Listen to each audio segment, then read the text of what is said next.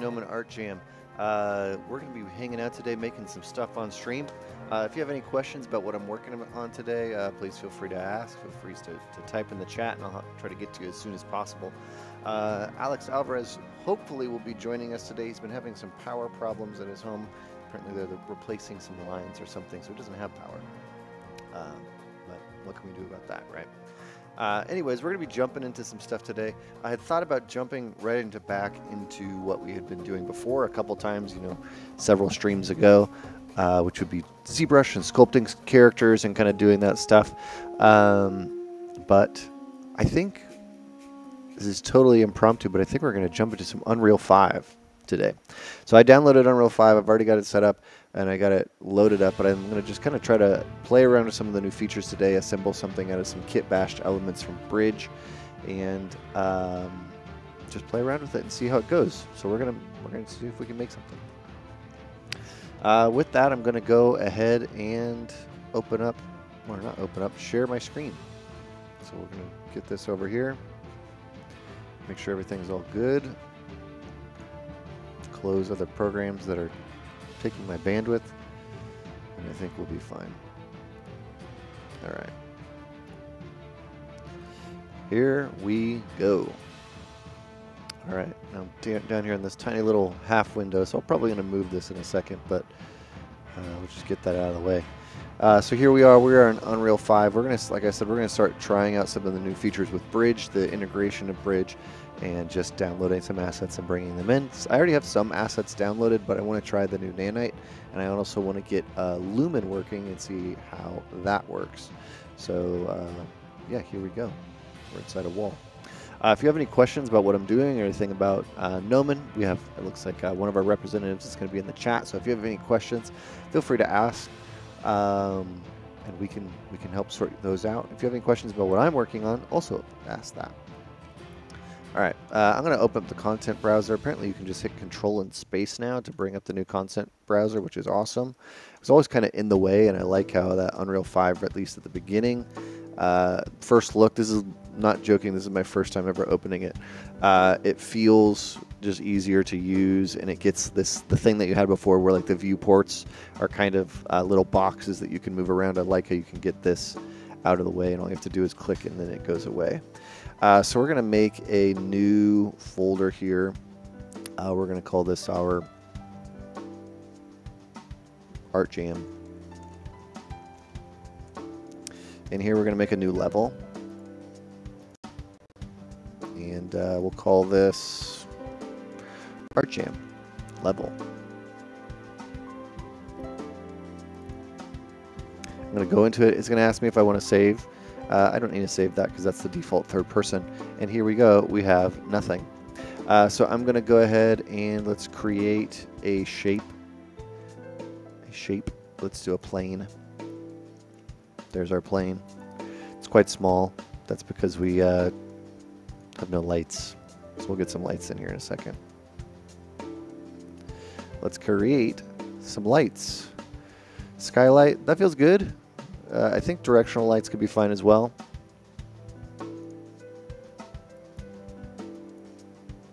I don't know why this isn't working, so we're going to have to figure some of this stuff out, or we'll just jump back into our third person one. I've also done that before in projects where you just basically go in and completely uh, delete it and just start over. It's odd. You know what? I don't want to futz around with that for too long. We're going to make a new level. Let's go back and I'll show you what I mean by going into third person, go into maps. This is where we actually started. This is the example level you can just come in here and just start deleting stuff. You can do it either in the, um, the outliner, the world outliner here, or not. We don't need these blocks. We'll, we'll keep that floor though. Delete this block. Delete these stairs. Probably don't need a player start, but we should be fine with that. What do we got here? This is our light source. I don't know if this is necessarily the light source that we want. So let's play around with this and see what happens if we just delete this or hide it. So it's got some sort of an ambient going on. Create lights, directional light. We'll start with that.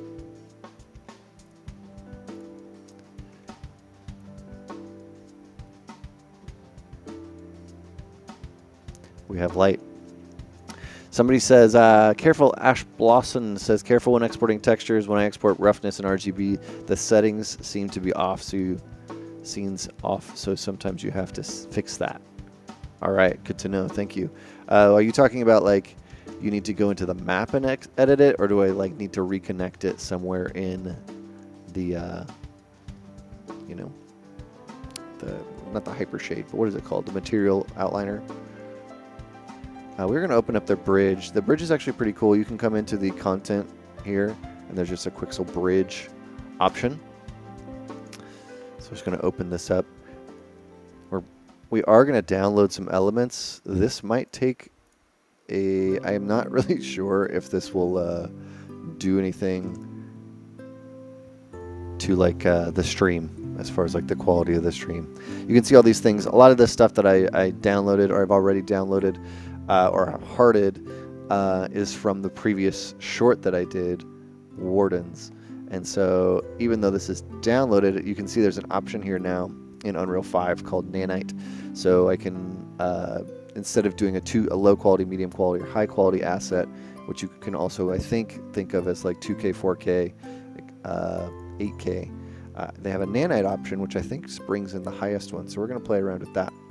But I've already made a bunch of snow stuff in my last short. I want to try something different. Uh, Ash is saying the roughnesses are set to RGB to to turn on RGB and RGB sometimes you have to turn off. Interesting. Good to know. This is in beta. Isn't it beta or is it in alpha? I don't remember exactly, but it's uh, not fully released. So we're going to just to check out what they got here. Get out of here, snow. All right. Let's see what, what kit we can play around with today.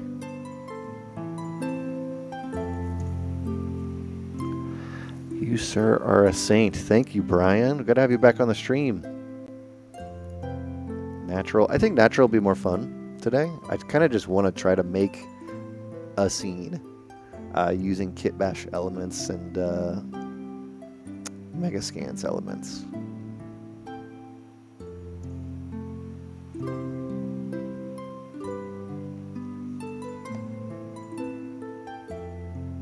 Already did this. Okay, let's, we could do a canyons one. The quarry, I think, is kind of like the the ones that they had done before. I'm not super versed in this, but let's go ahead and get started on. Let's just do Iceland. There's cool stuff here. I'm bouncing back and forth. Utah's cool. Let's just do Utah. All right, so let's grab a big uh, element here and bring something in I can probably also use any of these to texture our plains. So we'll get, uh, let's, Canyon Rocky Ground. That seems fine. Ooh, this one's cooler. I like how there's like some, some stuff here. Let's get this highest quality and we'll start downloading that. Let's see how long these take. Not too long, but definitely going to take a little bit of a time. Jake, you got to come back to Gnomon. Yeah, please, you're welcome. You're always welcome back. Hopefully this uh, the download itself doesn't impact the quality of the stream. Something spooky. We could turn this into something spooky maybe. We'll see what the lighting uh, does here. Curious to see how this plays.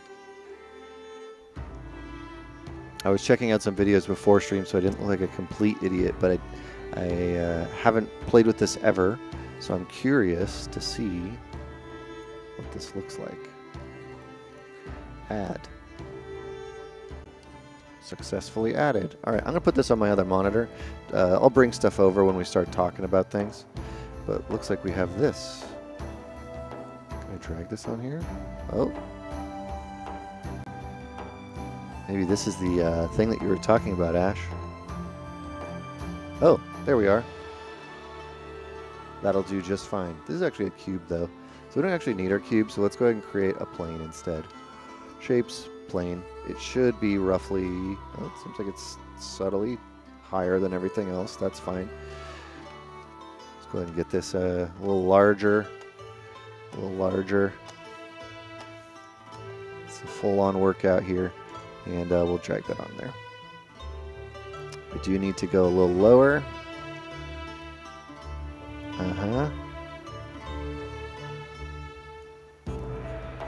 Get that out of here.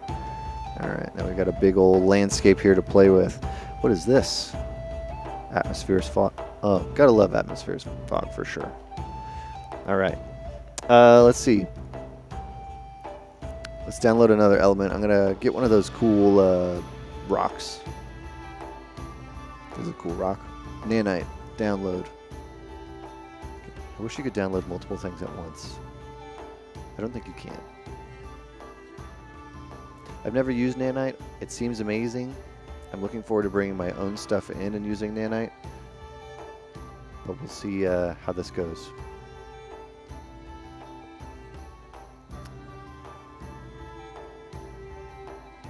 These are also really cool.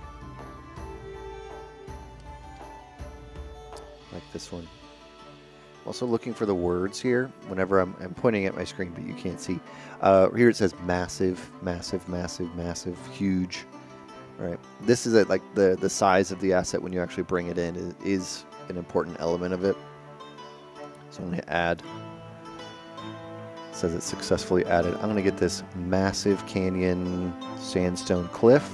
Nanite, we're going to start downloading that. Well, that's happening, I'm going to jump over here now that we've got some stuff. You'll see it has made a Megascans folder for me. If you've never used Megascans, it's super easy. Uh, it seems like it's even easier in 5. So it has the assets that I'm downloading. Those are the actual 3D assets. And the surfaces right here with all the maps. Looks like it's just doing... What is this? Some sort of a mask. And then we have our uh,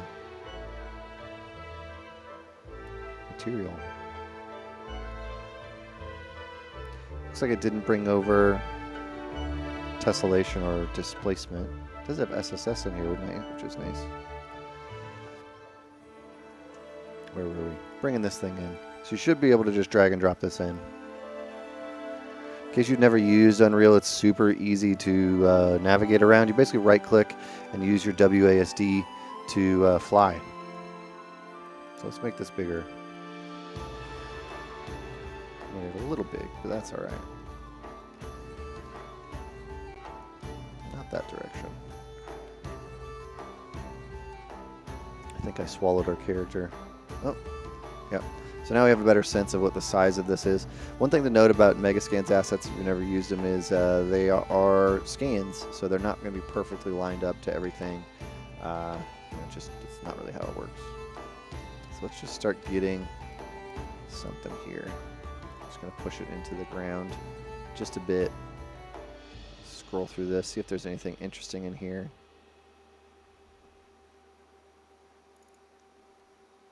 can, uh, when you have an asset clicked on, you can click on uh, this to browse to it, and this I think is to open the textures. So I click to that, I can open up the textures right here.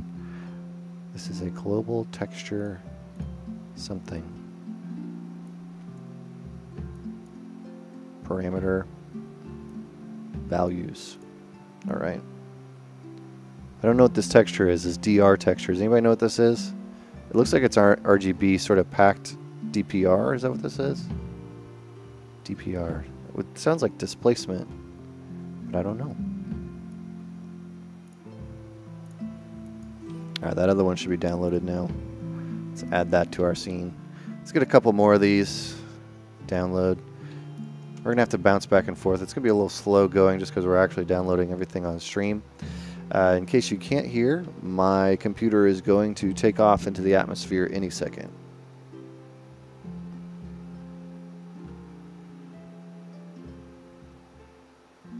I don't know what this is. I think this is the nanite itself, the software doing its thing as I've drag and dropped or attempted to drag and drop the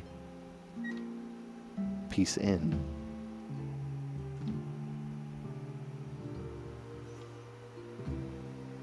This is a little slower than I expected it to be, but we'll see how it goes.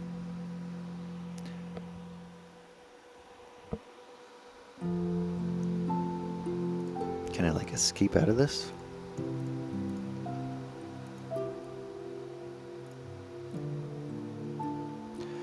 Seemingly not. This other one loaded super quick, so I'm wondering if this is like a bug that I just hit, or if this is um, just taking a while. Oh, there it is. One thing I really, really, really like about uh, Unreal is just how easy it is to get nice lighting. And I don't believe, maybe I'm wrong. See how this is intersecting oddly now.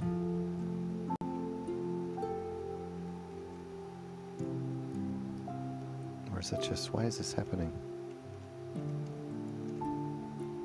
Just a shadow?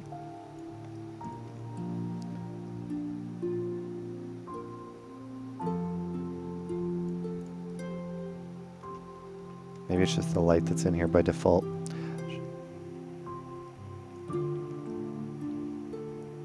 Ash is saying it's uh, Unreal 5 is a bit problematic, just starting to use Lumen. Or you are just starting to use Lumen. This is the the light that I added. I think I killed the other light. Maybe I just need to move it. Oh, it's probably because this is like not double-sided, right? Cast shadows, you two two-sided lighting, maybe. No? Okay.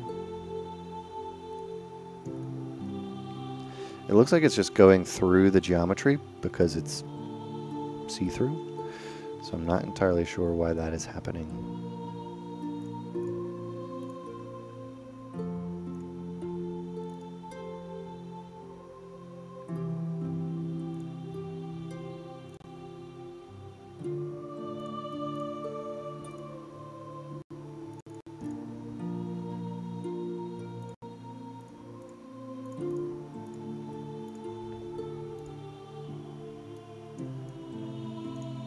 Interesting one, isn't it? Alright, well we might have to play around with this differently then. Or we uh, just start over with our lighting. Lighting. Light source. We had our directional light in here too. Let's just kill our directional light. We had our light source, which I actually just turned off, I believe.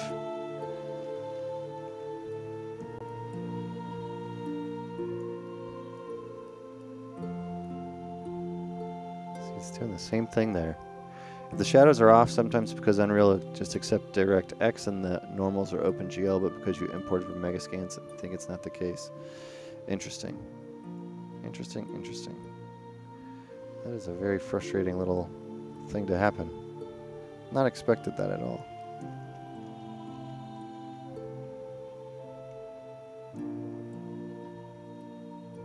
Huh. Alright, we might need to, to do a pivot and uh, go back to sculpting. I was hoping we could play around with this today, but it looks like there's going to be some bugs or uh, issues to figure out, which is annoying.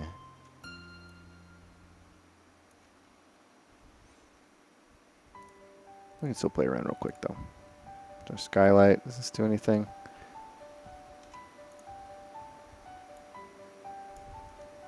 Looks like this needs some other things to set up. You know what? We're going to do this next stream because uh, just isn't going as planned. I don't know why this would would be casting. I understand why it's doing it because you can like, you know, do something like this. But that's going to dash a lot of the plans. So let's put this aside for now. Hello again. Welcome. We'll close this. Save it all for we can get back to it later.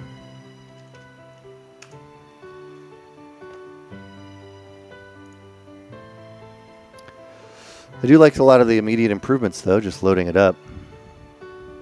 It's cool to see that there's uh, you know some immediate improvements from the UI standpoint, which is awesome. I am not using the most, most, most recent version of ZBrush because I wasn't planning to, you know, use it today. But we'll go ahead and we'll make a, a creature, some sort of character. And,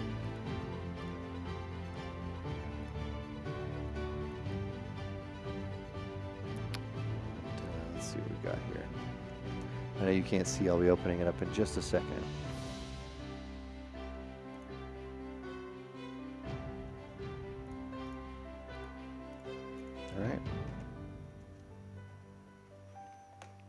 Tablet set up. Here we go. Will Alex come join today? Uh, we're hoping so, but he's been having some power uh, outages at his his home, and so they're swapping out the power lines, and that means uh, right now he just doesn't have power. So we're hoping he'll join, but no guarantees today, unfortunately. All right, this is our Dynamesh sphere. So we're going to go back to a sculpting stream today, which honestly for me is totally fine.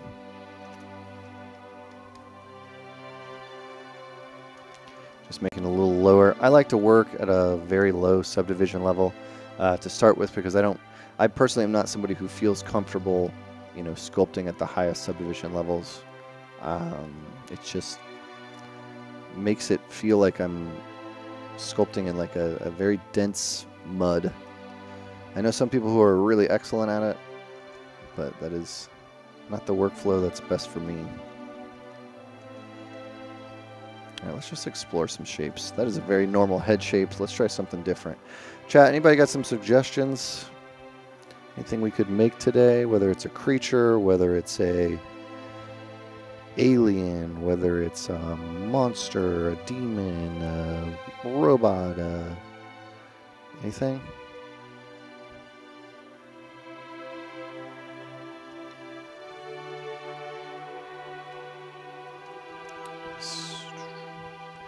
I'll switch to my brushes, smooth brushes. I like the smooth, stronger brush. It's just super powerful.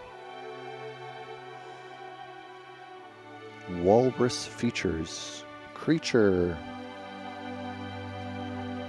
That's two kind of in the same same area. Um, I actually like using the uh, snake hook brush for this type of stuff at the beginning. It's it's a brush that I slept on for a really long time. I wasn't a big fan of it, you know, basically until a year or so ago. Um, but all of a sudden, it just feels like a very easy to use sculpting brush, like a, a more powerful move brush in a way. Could be like a creature from the Avatar movie. Alien mummy. Ooh, okay. Swamp monster. Now we're getting some good stuff. All right. We got a lot of little things in there. Swamp monster, alien Avatar, Walrus. All right, let's try this.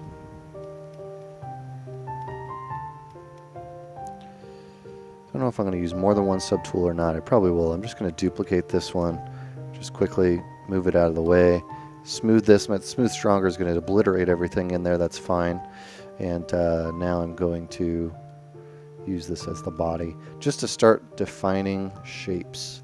Now if I do this, it's going to immediately make it look like a person or some sort of humanoid alien, which isn't really what I'm wanting, just because that could be their shoulders or something like that. We're going to just kind of bring in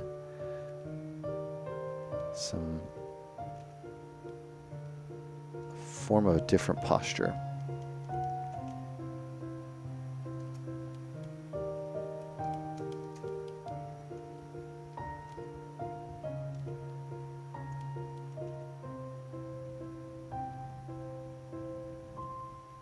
I am looking forward to using Unreal 5. It is uh, seems like it has some really great features.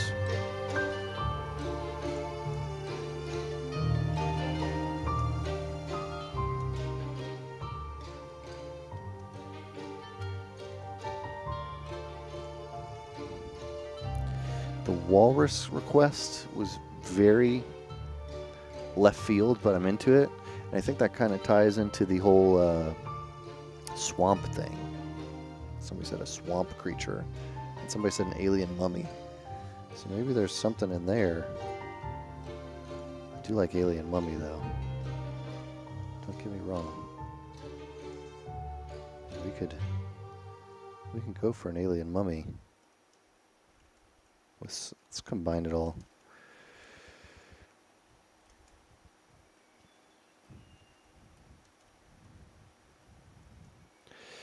Thing I always like about mummies is that you can just do a straight up mummy. which is the you know the like wrapped humanoid person. But you can also go for the more pharaoh version, you know, more like the accoutrement that's on there, and uh, do something that's got some like uh, very Stargate or something, right? Where you got some cool shapes and adornments and stuff that gives them a bit of a, a bit more to them. So we're going to explore some of those shapes.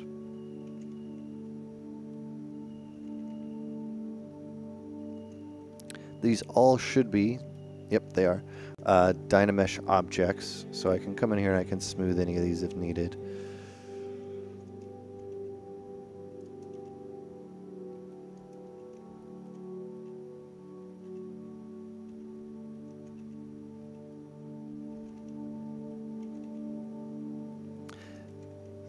Feel like we gotta do something with like a tusk. So it's looking like a Triceratops. I can see that. That's fair. It's a fair assessment.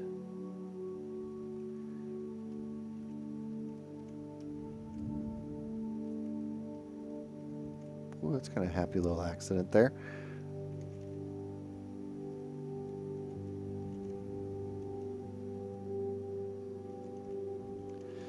Trying to find a shape language that I like. I'm going to go into my stroke for my uh, clay buildup brush. Go to stroke. I'm going to crank the roll distance up, anything over one, and that'll make it so that there's not that repetitive pattern to your uh, strokes, and that way you can get a more clean result. And for me, uh, when I want to maybe make some repetitive shapes, like something like this, it's a really good tool for that. So I highly recommend using the the adjusting the stroke. I learned that from uh, taking Scott Eaton's class a long time ago. Don't know who he is. He's an amazing uh, anatomical sculptor and teacher.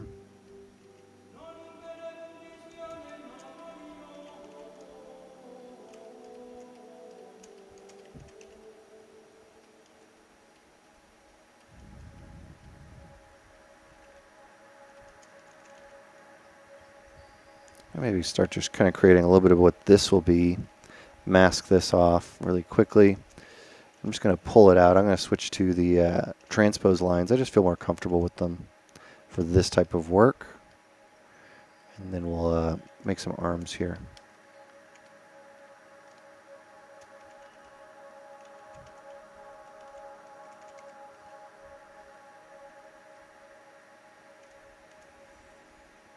Some of this, though, I do like to have that pattern on it. What was the advice that I said? Oh, uh, in the clay buildup brush, just a small tip, but uh, the clay buildup brush has this very repetitive pattern to it. You can see it kind of stacking amongst itself with all those parallel lines. If you don't like that or you want to use it, uh, the the clay buildup brush has more of a detail brush you can go into your stroke and you can crank up your roll. If it's anything over one, uh, it gives it a smooth result. And so that way you can kind of create these types of shapes for Art Deco style shapes or some form of a repetitive shape. And uh, it's just kind of a nice tweak to a brush that gives it a totally different feeling. It doesn't take a long time to set it up too, which can be a huge pain. All right, let's uh, set up some polygroups. So I'm going to grab these. So these are going to be my arms. I'm going to hit Control W. That will make a polygroup for that. That means I could basically mask these really quickly. And I can kind of come in here and start adjusting these shapes independently. And I can, with this, I can do a couple cool things. First, I can mask. And maybe we could do it here as well. I'll hit Control W. That makes another polygroup. So you can come in here, mask something off, use the action lines, and maybe we can create some pauldrons or some shapes or something like that really easily and quickly.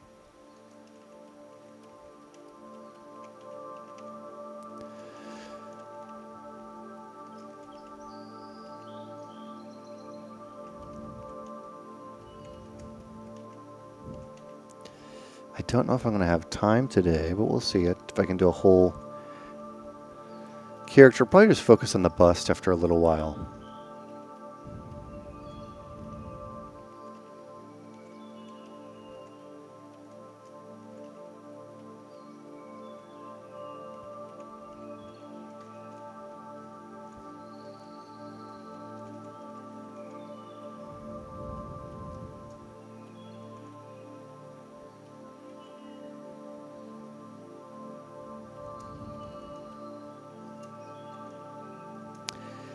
Like the idea of this being a mask.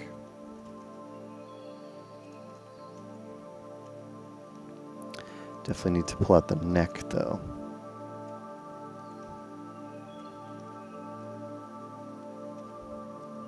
So that it feels like it's actually connected to this thing.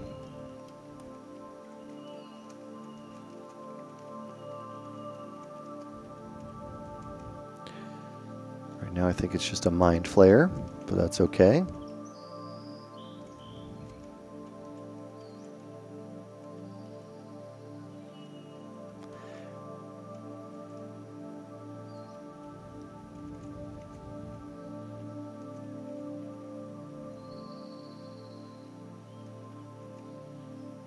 So I think we need to define if this is a tentacle or a tusk. We'll say it's a tusk. That was the request. Means I'm going to just inflate it a little bit and give it some more shape.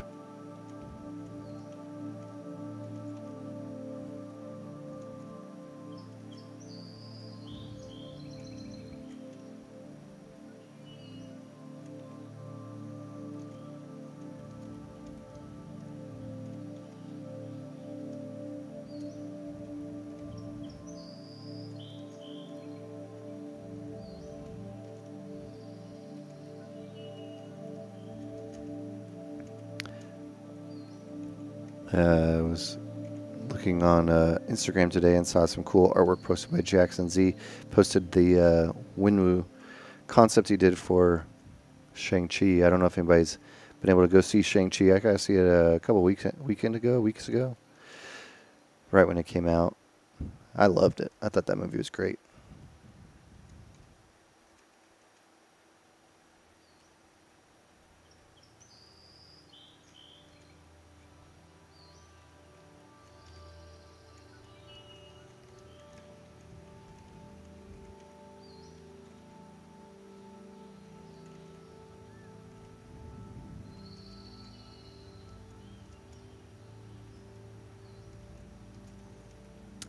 Doing horns or tentacles and stuff where it's like this can always be a challenge because it becomes such like a key element of the character. Where if you don't get it right away you're kind of which I haven't uh, you're going to be kind of basically fighting it for the entirety until you until it sits. And when I mean sits I basically mean there's a time when you're sculpting and you're working and at a certain point it just works.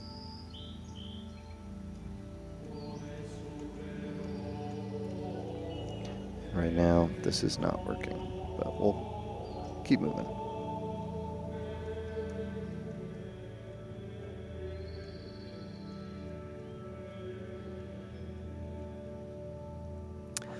Pablo TAS 9 on Twitch is saying, uh, I was wondering, do you usually start in the concept of a character uh, or do you do some thumbnails in Photoshop?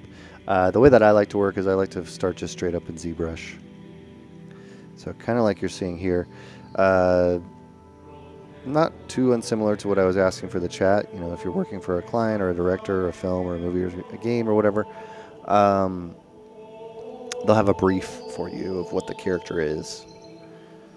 It's pretty rare where they just say, meaning rare as in never, or very close to never. Um, just make a character.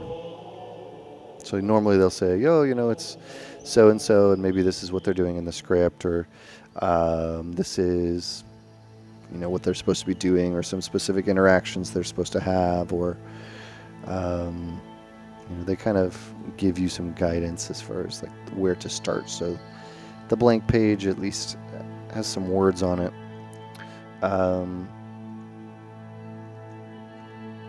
And I like to start in ZBrush for me just because I, I, am more comfortable as a sculptor. So I just feel more comfortable straight up sculpting and, and diving into some initial shapes. Uh, the result of that is that typically uh, in the concept phase, I don't produce as many options. Uh, but my options, I would say they're higher quality always. Um, but as far as like a rendering they're 3D, that can appear to be uh, more resolved. Um,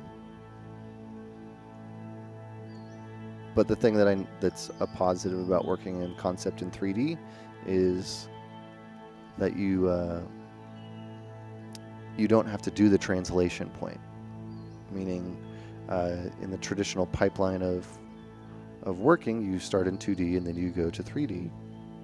And uh, there's a, if you've ever been a modeler or had to model somebody else's concept or design or you know done fan art or something like that, you can find pretty quickly that, that it's challenging to sometimes get the shapes or the design or make it work.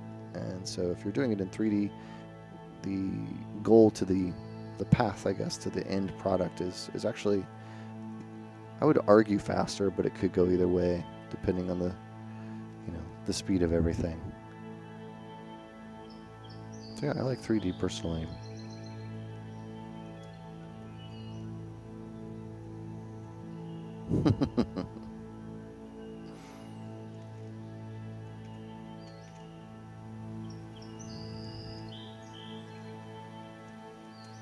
Looks like we're having a Gnomon reconnection with uh, and, Cher- and Jared Krichevsky in our YouTube chat right now. Two amazing creature designers, both graduated from Gnomon.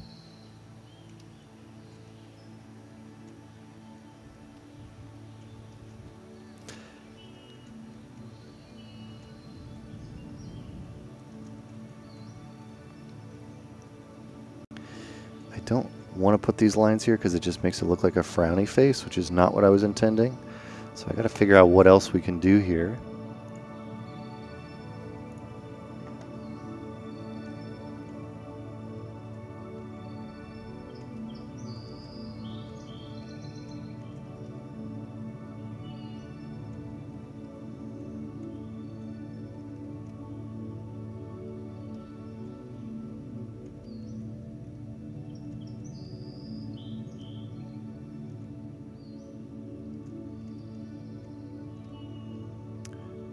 Know if I like this body with this head, but I think I can probably explore the head a little bit further.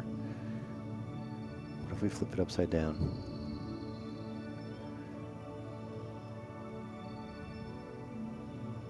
Sometimes when I'm working on just a head like this, uh, I will take the sculpt as I'm just searching for shapes and I will just flip it around in different orientations and see if it looks better that way. Like, is this more interesting? And then I'll hit Shift S on the keyboard. Uh, that basically snaps it in. So it's like, oh, is this cooler is this cooler? Is this cooler is this cooler? Uh, knowing that I can adjust them all to be better.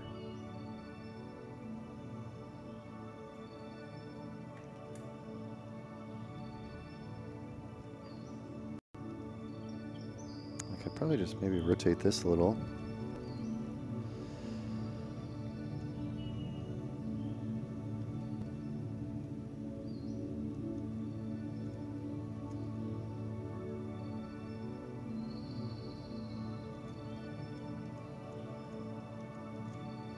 And we'll stick with where we were.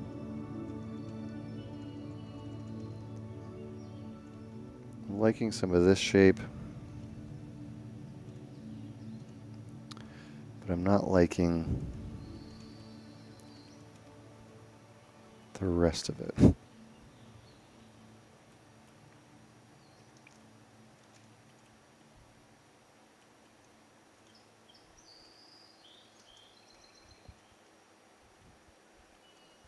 So let's continue. Let's take like what we had for the neck.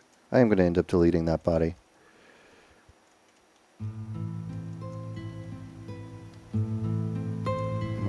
Crank it way back here.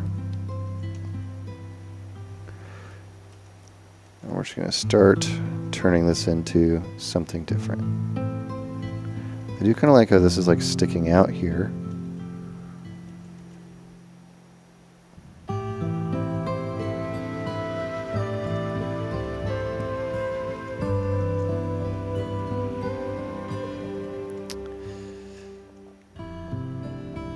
It's only September, but it is, uh, for some reason, it's starting to feel like Halloween already to me.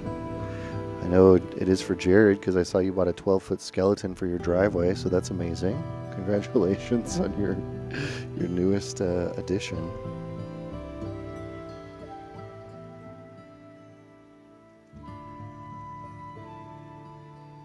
High Priest of Cthulhu. Yeah, this is kind of getting very Illithid Cthulhu-y vibes, which is not at all, like, at all what I really wanted to start off with, but I'm kind of okay with that.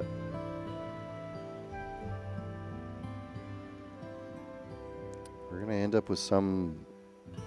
I feel like it's going towards some brutish... Brute... Brood mother ring? I don't know. I'm trying to use the same word too much, but I, there's something in this shape that I'm starting to like. The head it feels too big now, though, huh?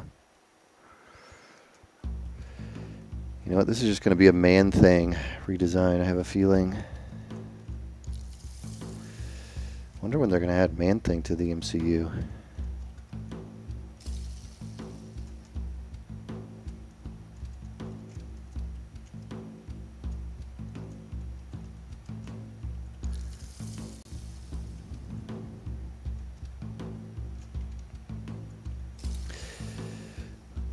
You could add one character to the Marvel Cinematic Universe that is obviously from the Marvel Universe right now, who would you pick? Mine is not Man Thing, despite what you see on screen. Kind of looks like a Star Wars alien. Yeah, I could see that. Star Wars always did these really interesting faces. Sentry. Ooh, good choice. McBubbles.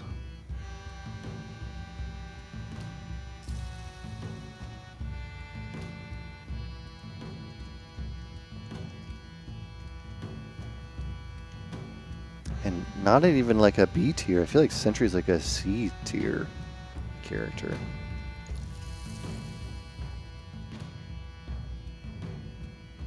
I guess it depends on the, the time in which it was written.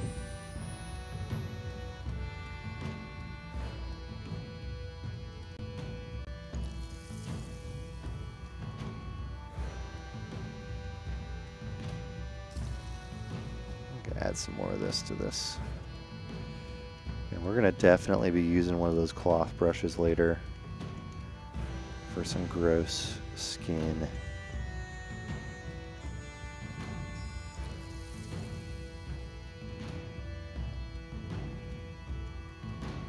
Mine, I think I probably made it pretty clear in some of my previous streams where I was sculpting a character. Uh, Beta Ray Bill. Beta Ray Bill is my number one edition. Aside from like the big ones, like I would choose, um, you know, the Fantastic Four, Silver Surfer, X Men, all that stuff, of course. But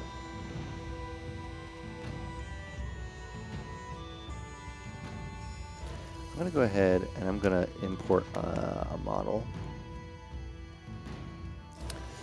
Uh, let's import a base mesh that I like to use.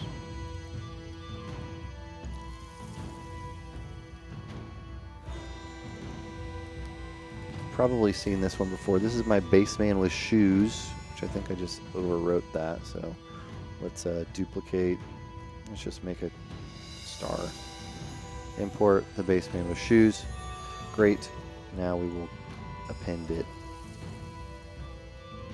Perfect amount. Ghost Rider, Adam Warlock.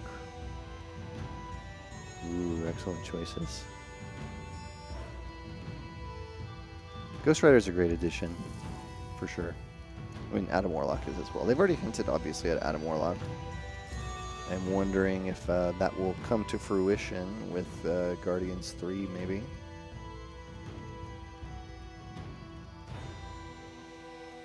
Uh, what the reason I brought this in here is uh, Namor. Namor would be awesome.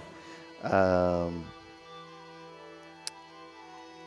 I'm basically gonna steal these. Body, I'm gonna steal these body parts.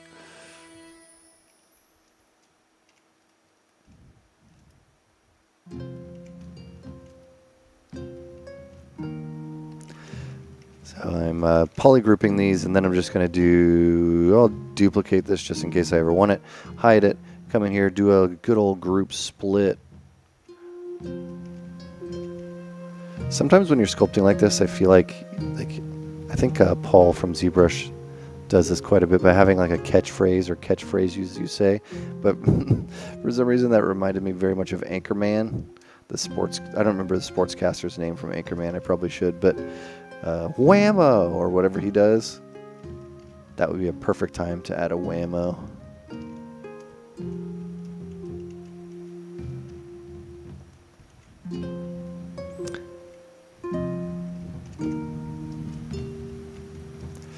So we got these hands. They're not super important as far as the pose, but this is more just for proportion. I'll probably completely obliterate the fingers into something and end up, uh, you know, dynameshing this whole thing together. Which is fine. There's not like a specific way. I get a lot of questions of, you know, what's the best way to do this or something. And there's not really a, uh, best way to sculpt or to do certain things. A lot of the times it's just going to be up to the, the artist to do a way that they prefer. I'm just going to try this. Let's rotate. Okay, hang on. Rotate.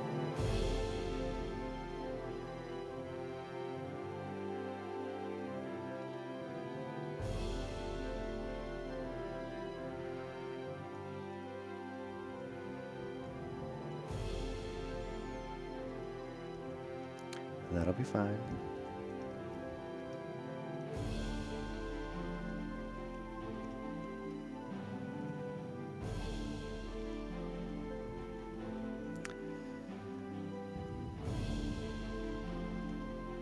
If you had to cast somebody for Ghost Rider, who would you pick?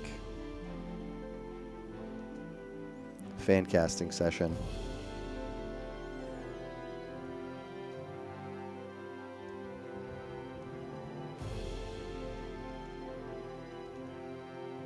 I'd be upset if somebody doesn't say Nicolas Cage because I feel like, you know, got to bring him back.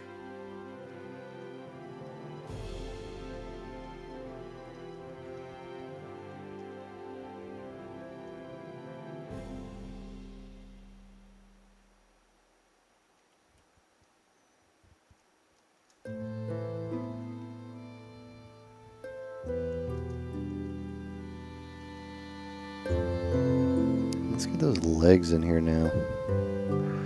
Ah, yes, the legs. Oh. Perfect. Just what we wanted.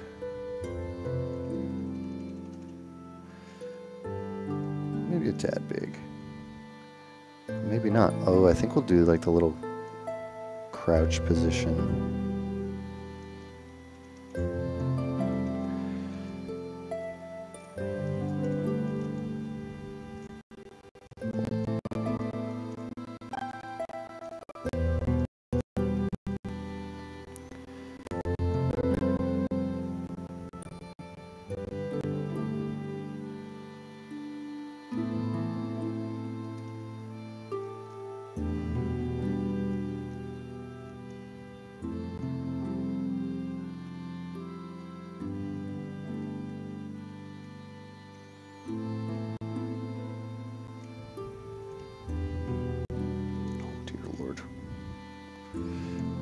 Soft on that mask and it turned into a very Gumby-like performance.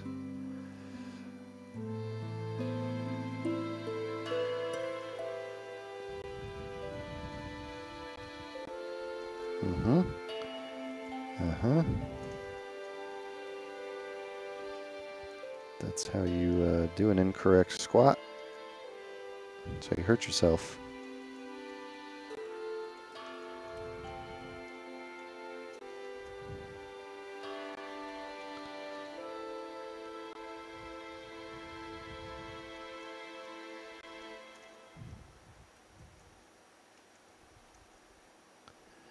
Think I did one of these in the stream, the pose, is what the word I'm looking for, a pose like this, in a stream we did with Brian. I just love, it's so weird.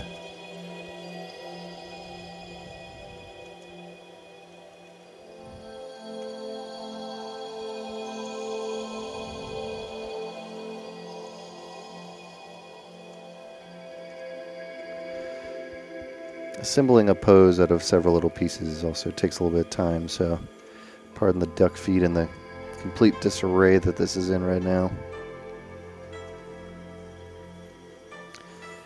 It's kind of like Gollum's pose, though.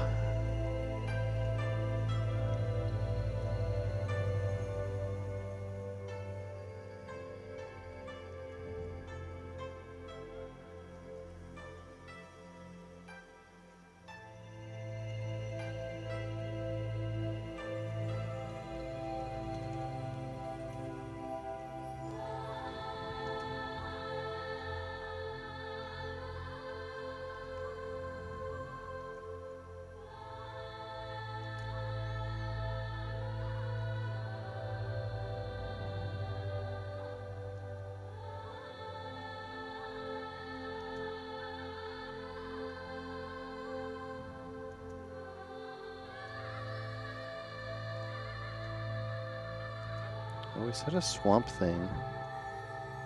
And uh, this is going to probably turn into some swamp thing. These little adv Adventure Time forearms that we've created here.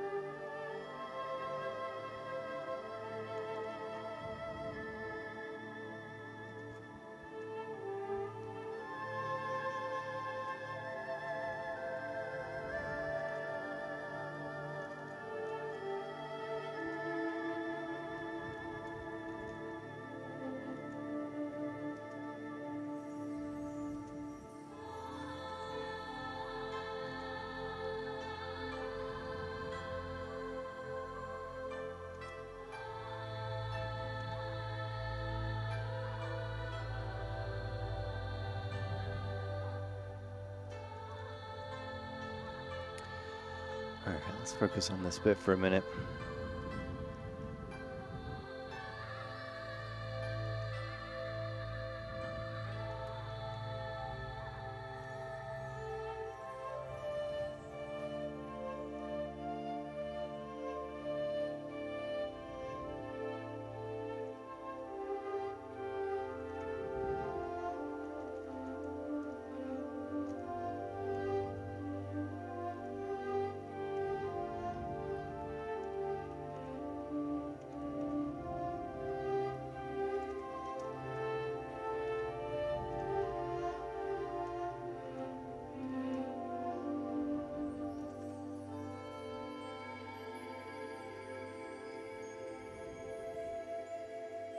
Is an interesting workflow. Uh, which part of it is interesting to you? I'm curious.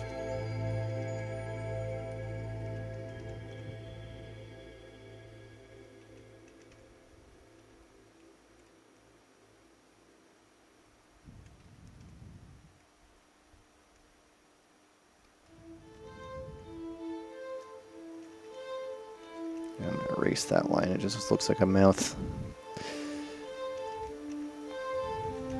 Give this a little more something, and then let's try to bring these together.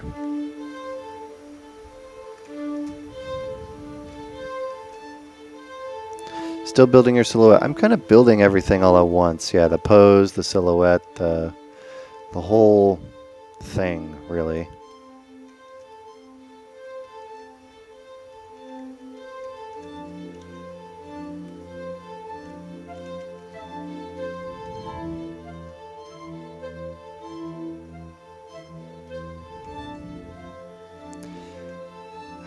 Just trying to see what works.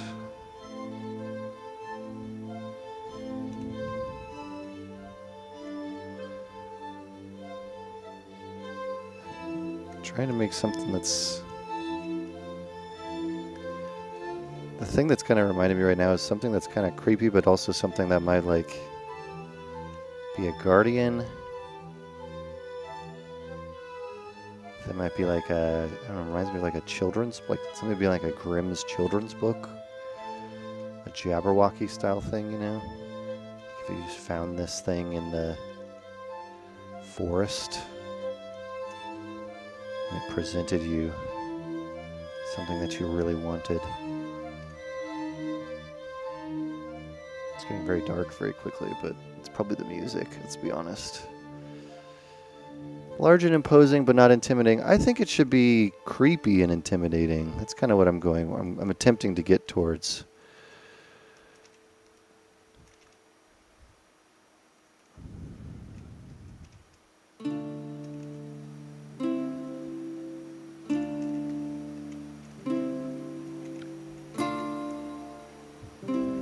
You're saying your concepts normally take you hours.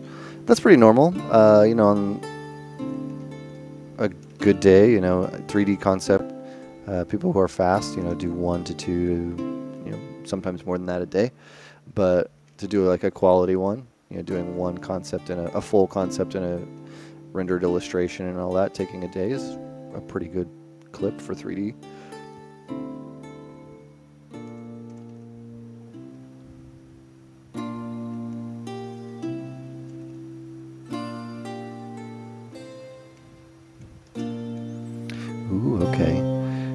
Question is, do we want eyes? I don't think we want specifically eyes. I think we want the hint of eyes. So something, maybe a couple points on this face. The head is way too wide, I think. Or is it not big enough? Let's bring our person back. Now, if our person was yay, yay big, we're going to put him in the scene. Think they should be a little smaller. I'll put them like this big. Oh, I apparently have stretched them out quite far. Let's uh, turn this on and let's just go the old 180 so they can be facing them. And then uh,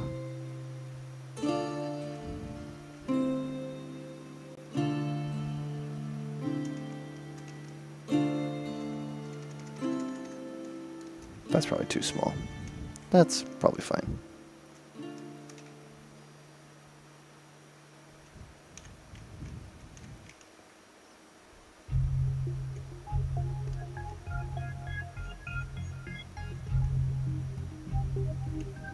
Something like this. So we're doing this, we're going to block out the rest of this. Uh, I'm going to quickly, pose this character. Just, I like it to feel like it's kind of in character um, of what they would be doing. So I'll probably just bring the arms down, you know, maybe take the head and uh, tilt it up.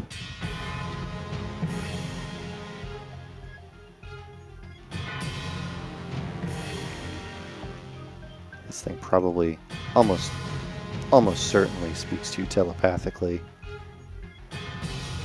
One of these little tendrils comes out and touches your face. Oh, that's so disgusting. I'm just thinking about it and I don't like it.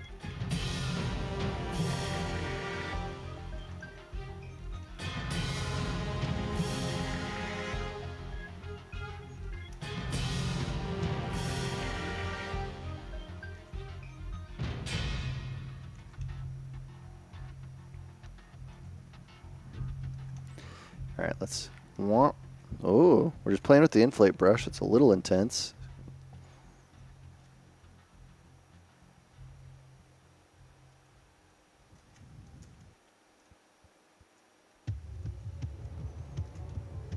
Kind of liked that, whatever this is.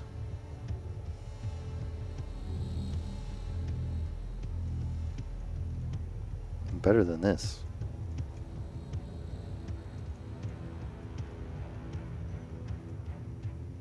Need that, thank you.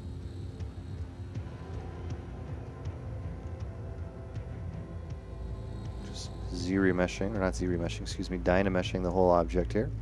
It's making it go up really high though. That's because it is doing the whole body. It's also projecting. I didn't realize that was on. So let's uh, bu -bu -bu go into our Dynamesh, turn off our project, and just do the old normal one.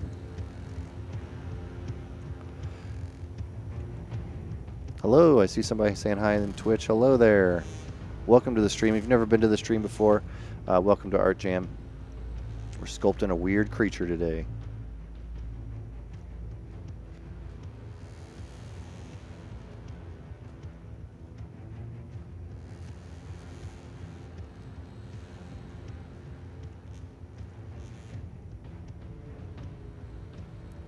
Ooh, we can get some like Chet flat head thing going on.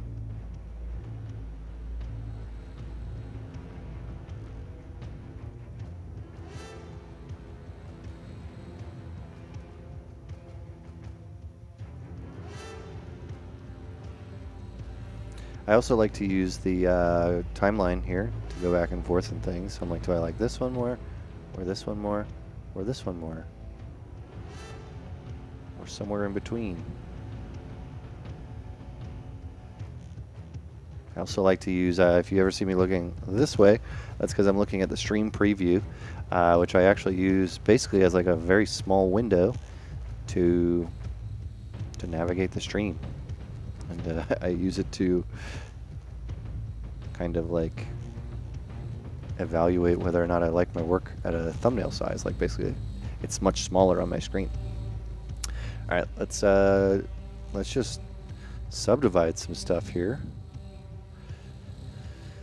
Let's see if we can find a way to tie this in.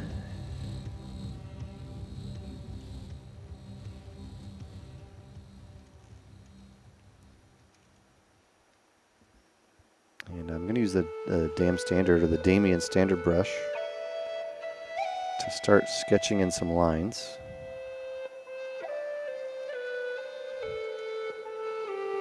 I'm not specifically looking for anatomy, even though I've been using a uh, humanoid base. Like I said, I don't think it needs to necessarily follow the laws of anatomy and physics. It just needs to resemble that.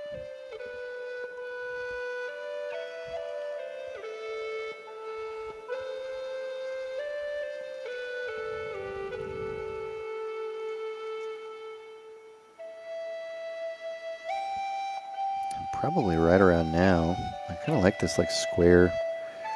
Maybe there's like a root. Somebody had said a swamp earlier, and I was you know joking about Man-Thing. Uh, maybe there's some swampy elements to this character. Some little stumps. Some things that live on the character. I might also give it some nice little geometric patterns here.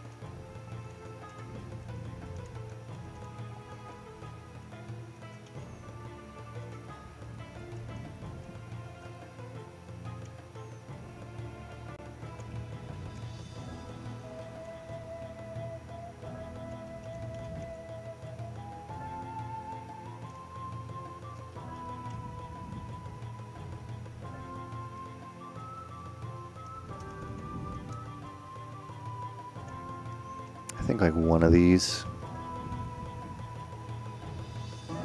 Here we go. Yeah, I think I got a storytelling moment for this. I think one of these will be like moving from here. And uh, we'll push it inside a little bit.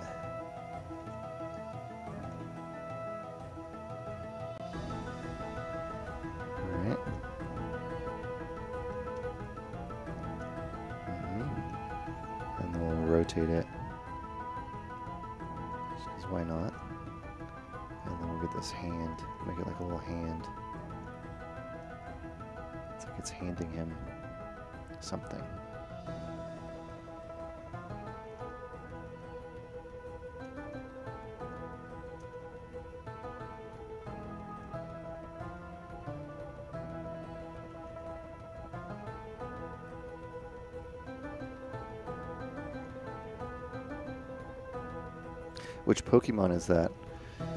That's a great question. I'm open to names if you have no, uh, names that you feel like would fit this. Probably not a Pokemon, but possibly a Pokemon.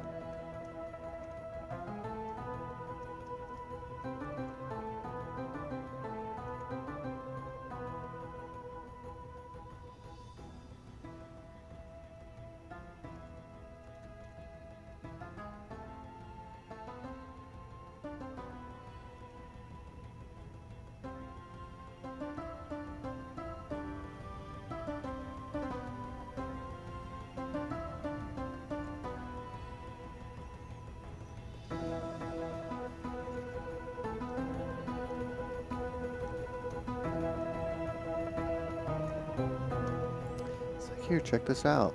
And then this arm, we slightly move. Means I'll have to sculpt this twice, but is what it is.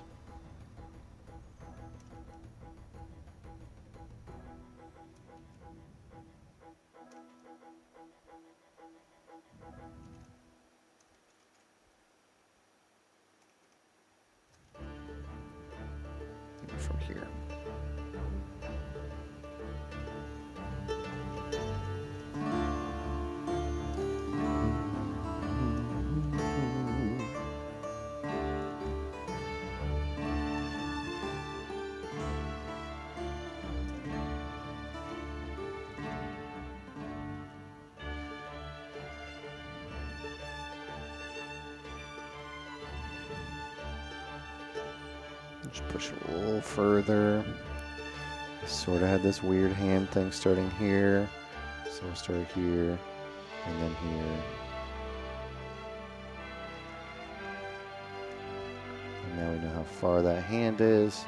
And we're going to reel it in. And maybe we'll chop it here. Because these aren't real bones.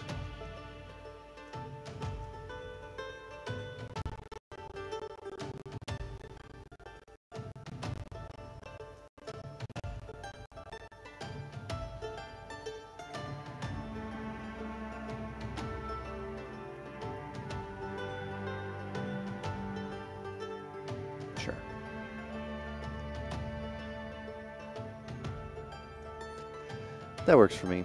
You know what? We haven't done what we should always be doing. Saving. FXH Sculpture. With the E in your Sculpture. Have a good night. Go get some sleep.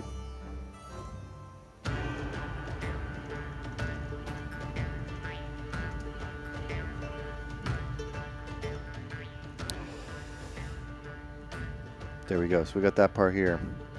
Now we need to finish this face, which I don't like these cheeks anymore with that thing. I do kind of like this. About a night, two hours left, so we got plenty of time. Plenty of time to really figure out exactly what's going on here.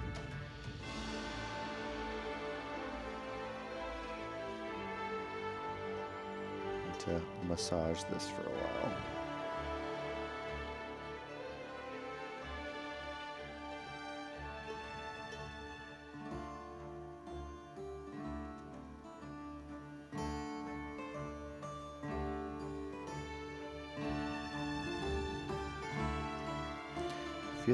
These get in the way. So I'm going to make a poly group out of them and hide them. See ya.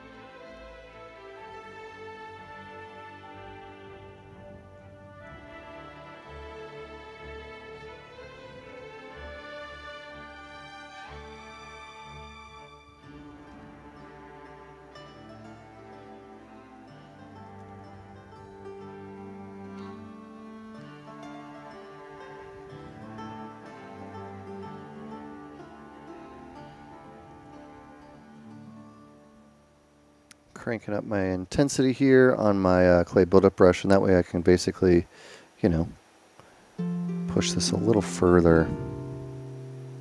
Get some details in there. It is going to destroy some of my base form, so I do need to be careful about that. So that's why I'll probably come in here and just like reinforce a couple of them. Also crank up my uh, intensity on my Dam Standard brush.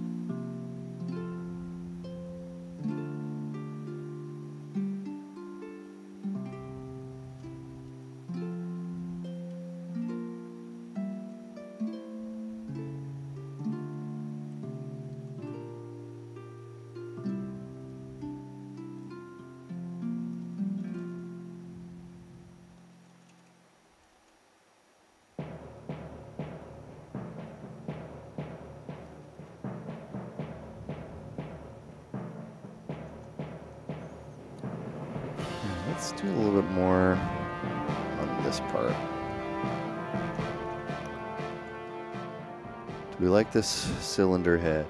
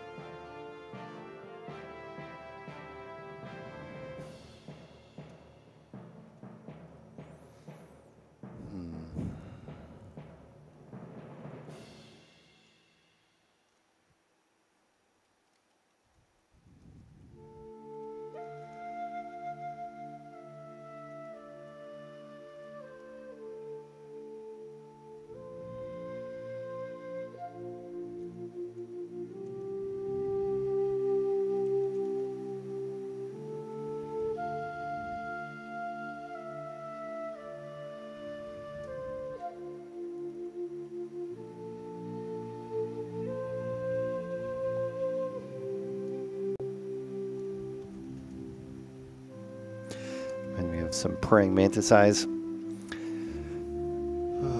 Which I kind of like. I don't know if I, I love that. Definitely the face is very praying mantis now, or what, what would resemble the face is.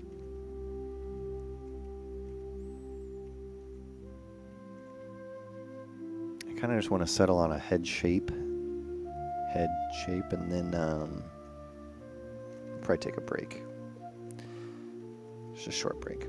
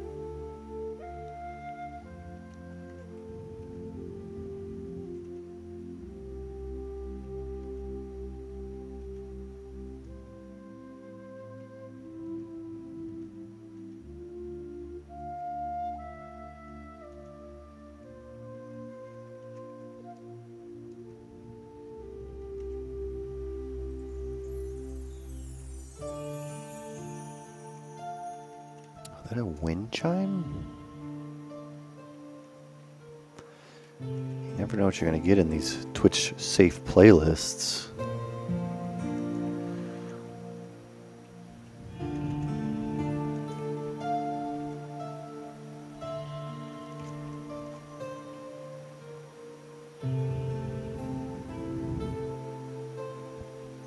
Going back and forward in the timeline here, just seeing if I like anything else more.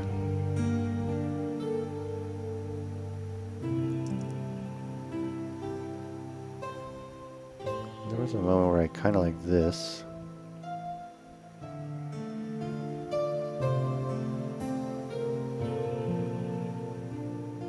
It's kind of expected though.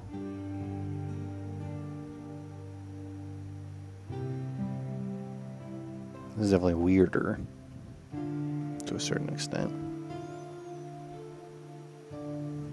Maybe we could add a little bit of that back in.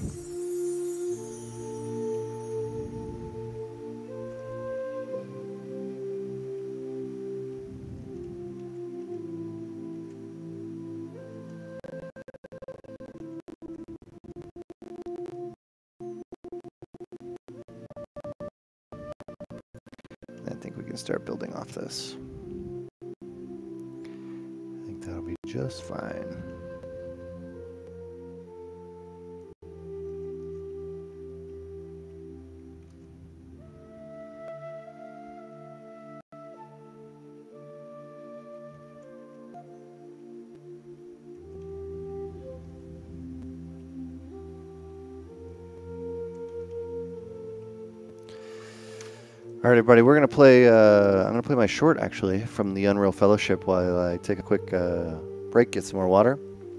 We'll come back and we will detail. Probably just focus on details in the head, uh, just kind of this general area here uh, for the rest of the stream. So I'll see you guys all in two minutes.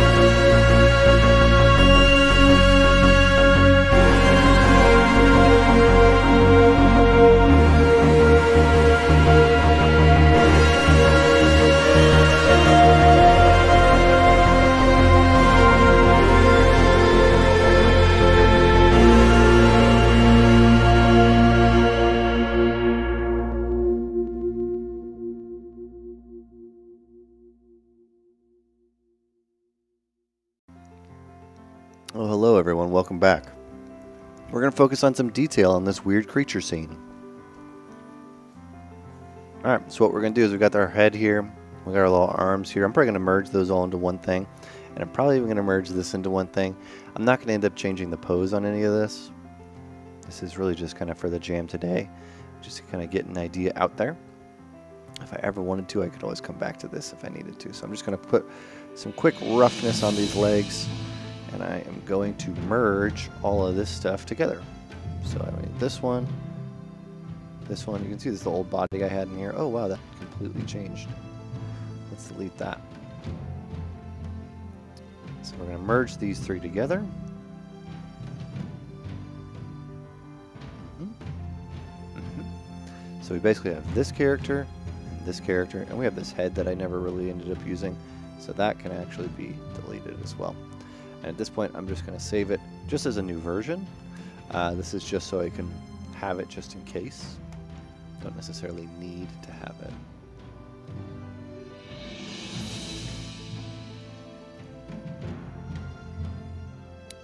Alright, we're going to Dynamesh this thing. Uh, I don't have to Dynamesh it, but I'm going to Dynamesh it just because I want the arms to be a part of the mesh. Uh, because right now they're separate, right? So I brought those in and appended them. And then uh, what I'm going to do now is just geometry Dynamesh. If I do this now, you're going to see this is going to happen. I'm kind of okay with that. You can also do groups and uh, see what happens there, and that tends to do a little bit better, but it does actually do exactly what I don't necessarily want to do. But it does give an overall better version of that, so I might just do that.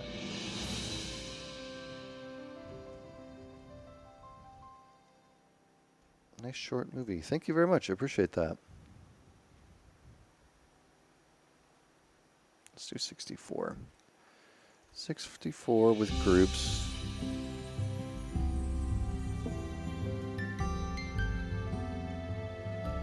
Uh, it's separating these.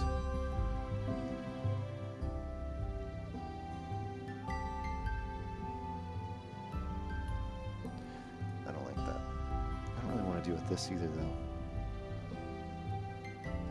Meaning like getting way in here and sculpting that and making that look better.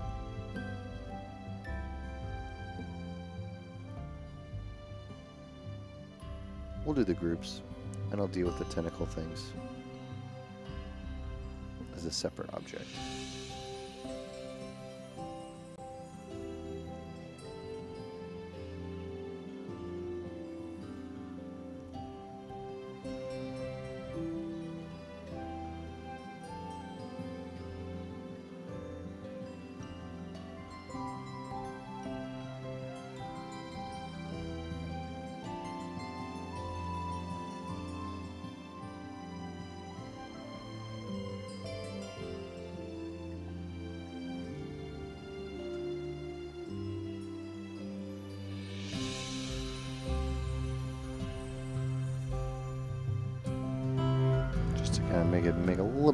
Sense as we get into the details here.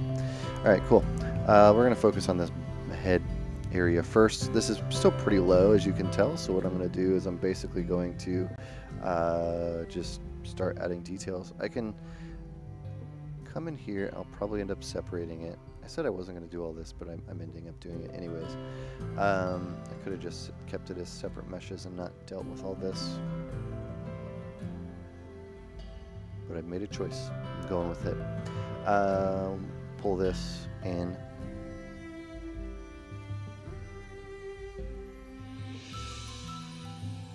BM, no, comma, BMT goes to the move topology brush.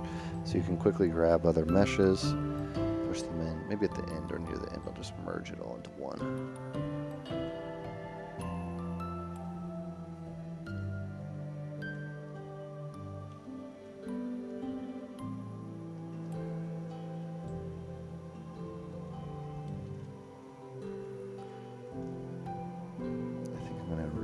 What I've done though. It's just not working in the way that I was hoping with the Dynamesh. Eh, whatever. Alright, let's get into details. Focus on this. I might end up splitting these back out just so I can focus and have higher uh, subdivision levels total. I'm just going to do it one subdivision level now though, and start diving into details. Uh, I'm going to hide probably everything else except for this for now.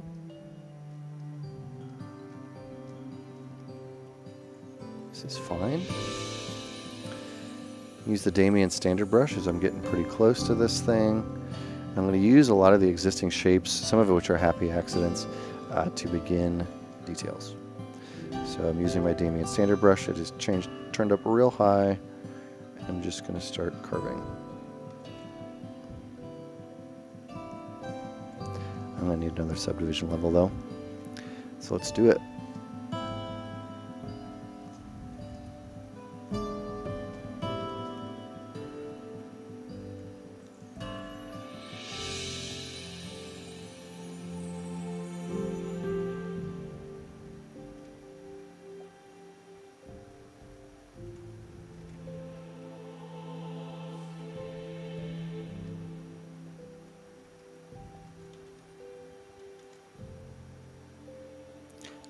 Trying to define right now is what this actual material is. So is this a carapace? Is this a root? Is this a, you know, what exactly is something?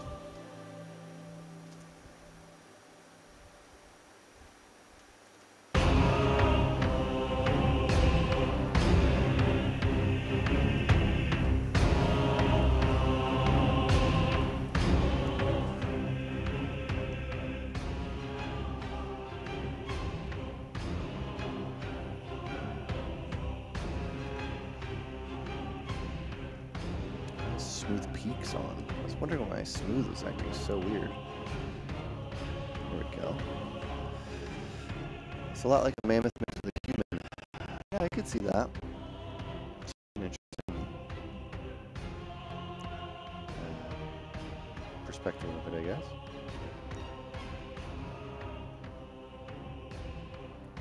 I get some of these. Because of all these little pointy things, it has to be I'm going to go with some sort of a carapace or a rocky hide or something like that. So I'm just going to, using Alt on this brush, I'm just kind of adding some of that textural detail here.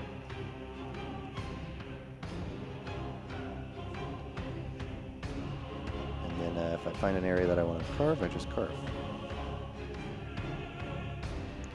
I turn this down a little bit more, maybe 40.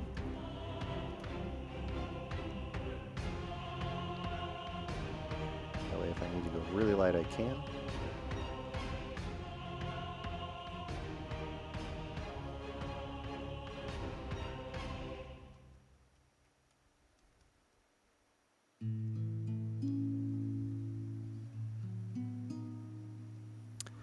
What do I think about Cintiq tablets? Sounds like I met you a while ago, Isaac, at, uh, at Gnomon once. That's awesome. Um, what do I think about Cintiq tablets? Do I ever mess with them? I have messed with them, and I do like them. Uh, my, I have a couple complaints, to be honest, but the the complaints are can easily be out, outweighed by your preference or something you like. Uh, my complaints with them, first off, uh, is they get the screens at least can get hot. Uh, if you're working on it for you know several hours a day, if you're doing a full work day of eight hours on a on a Cintiq, I have found that it it can get hot um, and it, when it gets hot, sometimes it gets sweaty, and sometimes when it gets sweaty, it gets sticky. So sometimes you'll be doing this, you know, if I'm drawing, doing this, and you get this sort of like feeling on your hand, which is really uh, uncomfortable. I don't really like that. And then uh, you, the, what a lot of people do to combat that, you'll see this is they wear these gloves, and it's a glove that basically only will cover uh, the pinky and it goes around like here and sometimes it'll be the, the ring finger as well uh, so that when you're drawing it as a they're sort of made out of like a, not microfiber but some sort of a cloth like a, a smooth cloth that you might clean your glasses with or something and uh, that makes it so that you don't stick to the tablet. So that's my first complaint. Uh, the second complaint with the Cintiqs is the colors have not been great in his in history. They've been a little dim or they've been just kind of slightly off. And then my third complaint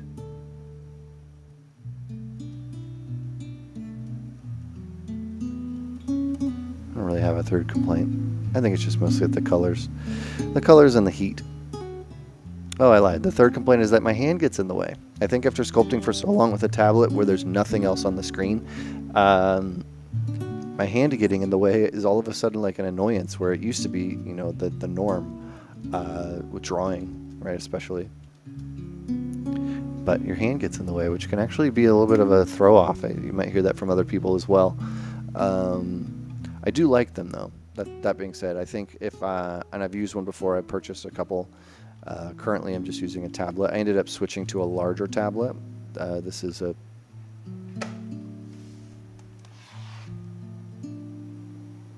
It's this size. I think this is the large.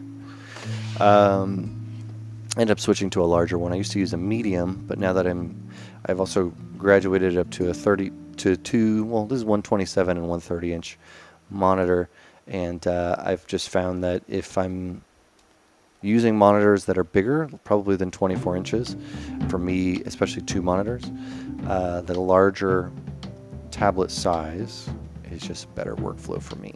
But they are great. Uh, I almost got a Companion Pro. I think it's called Studio Pro, not Companion Pro, the Studio Pro. Uh, early pandemic to be able to travel and to have a, a workstation that's combined with a, a tablet. Um, didn't end up doing it just because of cost, but they are cool. I don't, you know, I don't really see one as necessarily being better than the other. I think it's just uh, preference, whatever you like to work in, and you know, if you can afford to try one or can rent one or find one that a friend has, they're, they're most certainly worth exploring.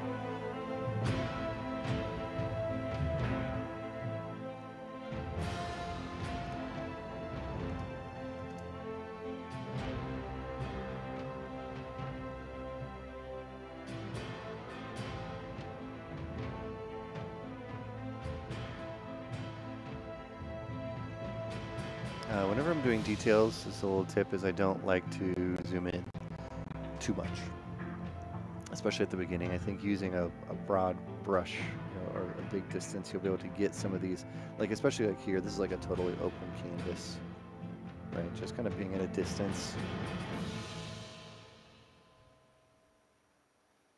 Uh, for me has always helped to kind of know what detail you're laying in, know what level of detail you're laying in. Uh, otherwise, if you're zooming in, you know, and you're super zoomed in and you're you're adding your detail, you'll I'm sure you'll get quality details, but it's hard to know what it's going to look like in the scope of things and what it looks like along next to all of the other stuff.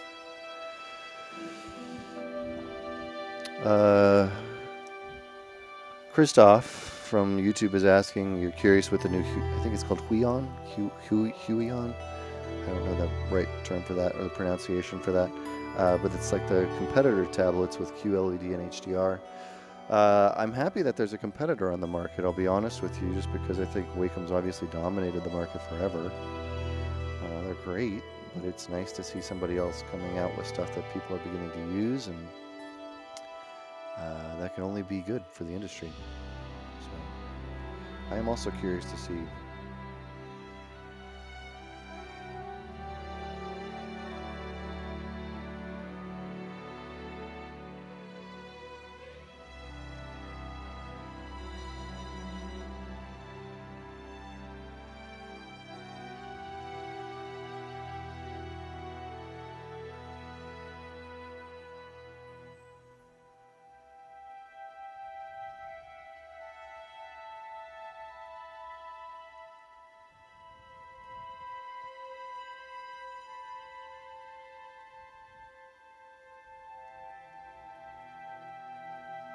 we try out some of those cloth brushes?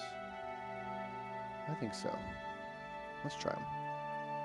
So the cloth brushes are obviously for cloth, but for doing stuff like what I'm kind of exploring in here, I have found them to be pretty cool for organic skin creatures that are going to have some wrinkles in that. Uh, so we'll go to cloth. I think the one I've used the most is... What is the one I use the most? Nudge.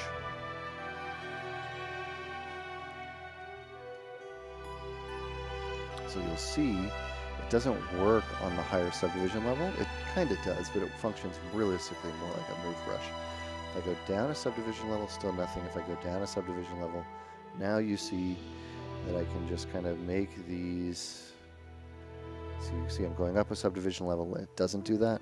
Go down a subdivision level, and it does. Uh, probably in this instance, you would turn off symmetry.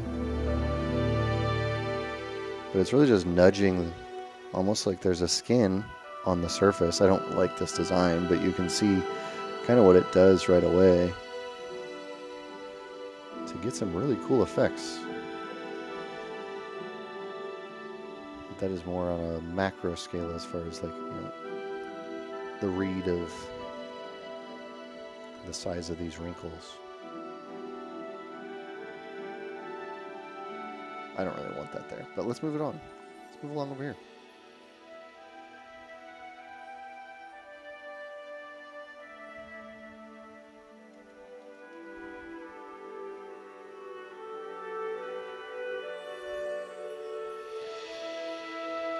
Create some little details here. I'm sure this would be could be great. Ooh, yeah. Mm-hmm.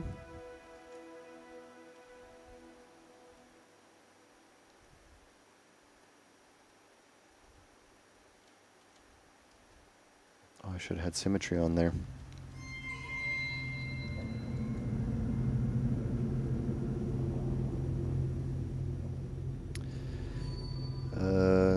Nuclear divide is saying they're great. The, the Hui, I'm going to say Hui. That's the way I'm going to go with it. Huions uh, are great if you don't care too much about color accuracy. So there you go. Color accuracy is interesting. I've heard people go about it both ways. You know, some people are super uh, adamant that you know whatever they're working on needs to be color corrected and uh, you know, color balanced to match certain profiles or certain things. Uh, and then other people that I've talked to have said that they don't care and they don't even think that that's needed uh, because there's so many different ways that people look at it, unless you're making like a major film. Um, the best, especially if you're doing, from my experience, the best thing to do if you're um, trying to find one, especially for images, is your phone. I know it sounds weird, but just send the image to your phone.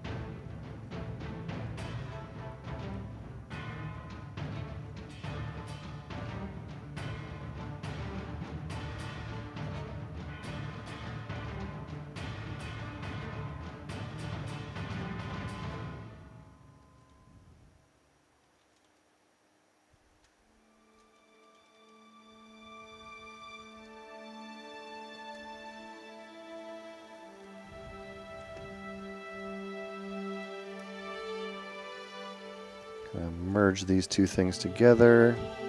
Gonna try to get another like shape that's connected in here.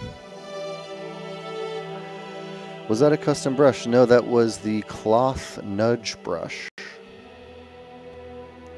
Cloth nudge is somewhere I just had it selected, but it is a cloth nudge. It only works on lower-ish subdivision levels, but uh, it basically pulls keeps the form relatively in shape, but it bunches and crumples and nudges all that stuff into uh, where it's expecting you to take it, which is pretty cool. So I love it for creatures like this. You don't need to go all full full ham with it, but you can do some pretty interesting things where it's you know, creating shapes or wrinkles or a pattern or a texture or something that's just slightly off. And it can still create those areas of rest that you want.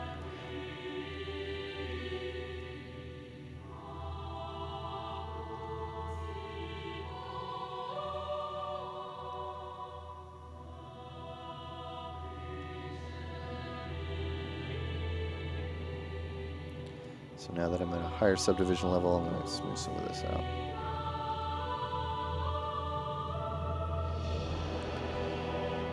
kind of put in here and just really subtly enhance what I just did with those wrinkles.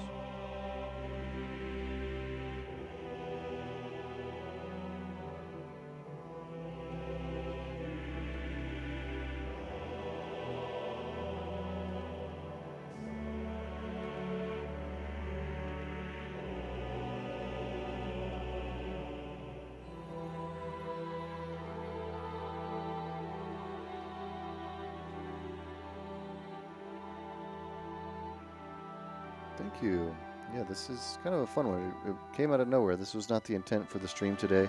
We're going to be jumping in on Unreal 5, but we, for the first time, and just kind of exploring some stuff live. I feel pretty comfortable in 4, but there were some weird errors that were happening that I wasn't, uh, didn't expect to encounter and didn't want to try to troubleshoot on stream. So we'll probably do that in one of the next streams.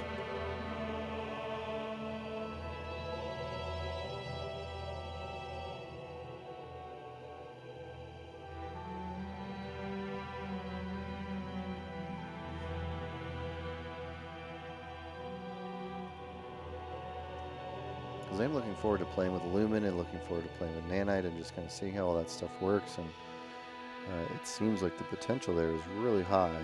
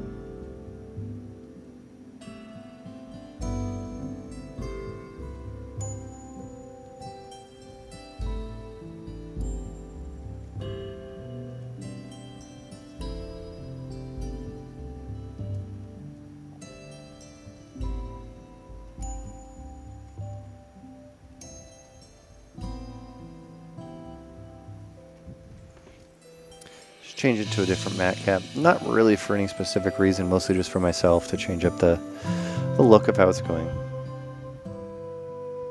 Give me kind of a break from what I was looking at. Sometimes when I look at for something, sculpt on something for more than, you know, an hour or so, uh, my eyes kind of get blind to it. So I end up kind of needing to do some mind trickery, Jedi mind trick on myself to basically keep myself going and not getting too caught into the same things.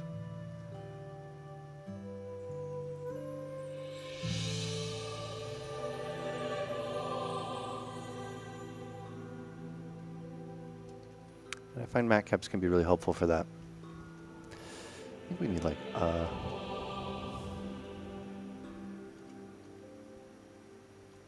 don't really want to put an eye in there. Maybe just like a couple of these things.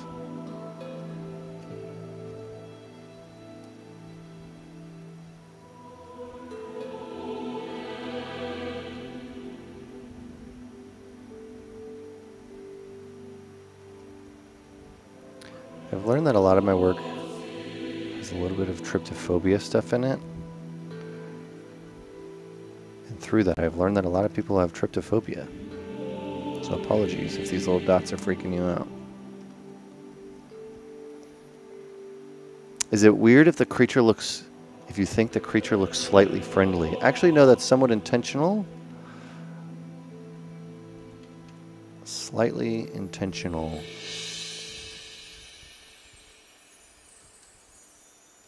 These little tentacles from the front look cool. From the side they do not, so I'm going to work on that next.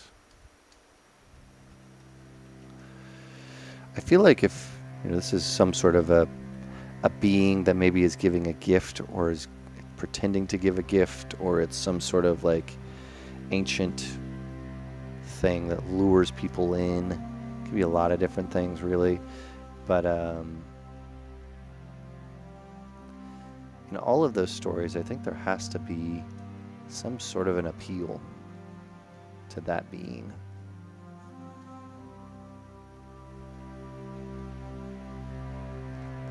Otherwise, the people who fall for it would never fall for it.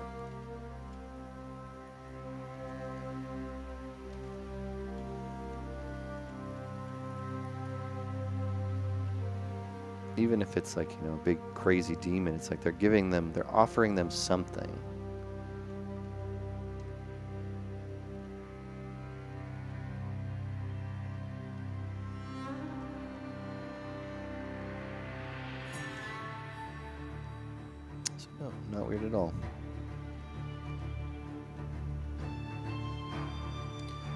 Think I might, at this point, even just uh, do one of these.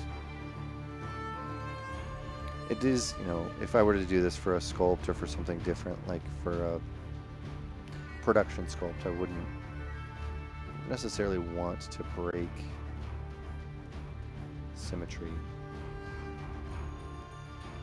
Something like this, I think it's okay.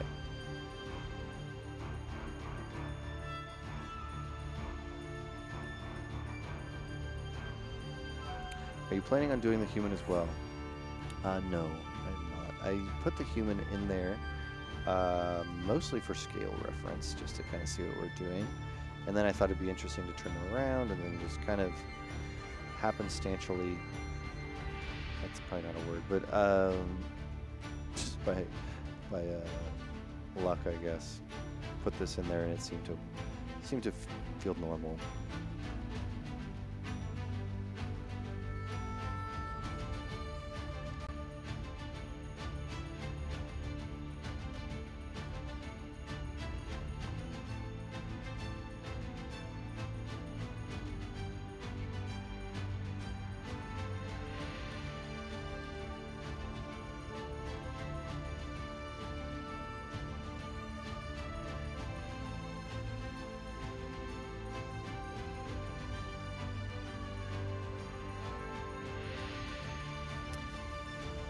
About one hour left, so if you're just joining the stream, welcome and hello, and welcome to Gnomon's Art Jam. Uh, my name's Josh.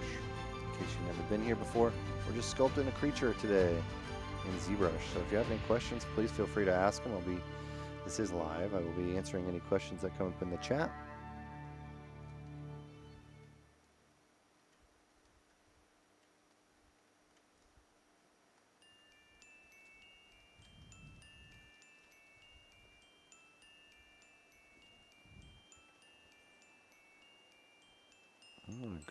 Together just so I can make it easier to hide it.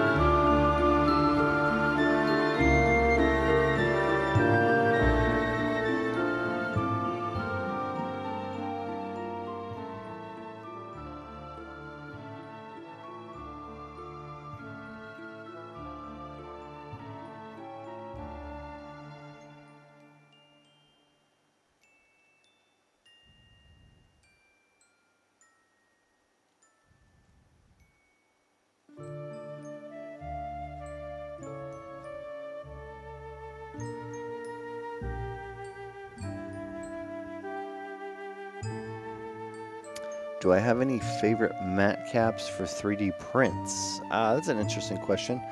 Um, favorite mat caps for 3D prints? Uh, I use these mat caps, which are just the Z mat caps. Uh, these are by somebody called ZBro uh, from ZBrush Central, uh, which I found a long, long time ago. You can probably find them if you searched ZBro mat cap in Google.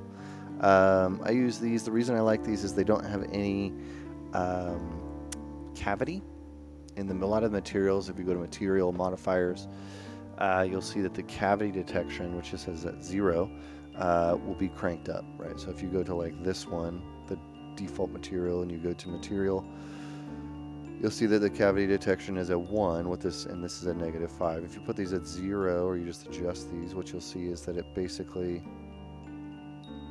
uh, changes the way that the material actually reads and it's creating, as I adjust this, uh, the shading. It adjusts the shading to highlight the cavities and, and or to highlight the crevices or the or things. So like you can see like around here especially, uh, this is one area where the cavity is being shown a lot more than something like this where it's pretty subtle. So one of the things that I look for in a, a cavity, and this is kind of something I look for just in general when I'm sculpting, especially if I want to take this out of ZBrush, um, is something that has no cavity detection, or I uh, remove it entirely from my, my mat cap. So if there is one that I like for some reason, there's some cool ones in here, uh, like the mat cap green clay. You can see this one is an interesting one, but it has cavity detection. So if I turn cavity detection off, it's a much more natural looking sculpt, and you'll see in like the Fresnel, meaning the edges of all this stuff that was being getting cavities. Uh, if you turn this off that doesn't happen, uh, which is much better. So, yeah.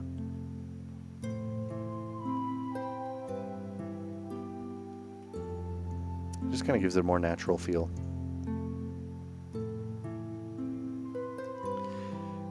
So I use mat caps most of the time. Uh, I do occasionally just use the standard materials. The basic material, the skin shade material uh, is really good. Uh, it's better for me if I turn to gray or like a slightly off gray uh, because the white by default can get blown out a little bit. So I don't typically uh, use the white. I might put a little gray on it, and that's a little easier to just in general, I think, to look at for a long period of time. Um, the nice thing about these, in case you don't know the difference between a mat cap and a standard material, is that you can adjust the lights on this. So that's the best part of this for me.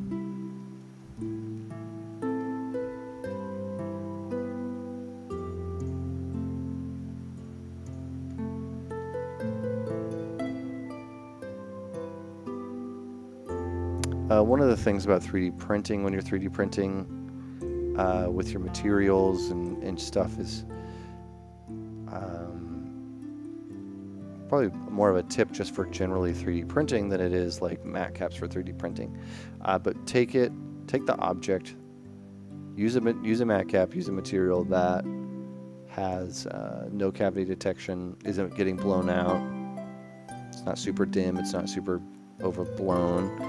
Uh, and then what you want to do is actually size the object that you have on your screen to the real world size in real world. That means it's a little weird, but what I mean by that is like take a ruler and say you want your print to be three inches tall, put it next to your monitor, and then size the object so that it would be three inches uh, tall next to the ruler if this is the ruler.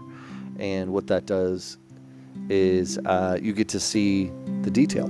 You get to see how much of the detail is actually going to be there, and you're going to get to see how much of the de detail is very likely going to be lost. Uh, and it'll also give you an, some insight into um, if you want to or if you need to enhance detail. Uh, there's easy ways to do that. We can even do it right here. I'll just show you on the, the head a quick, easy way to add or enhance detail. Um, all you got to do is you come in here and you go to your masking panel.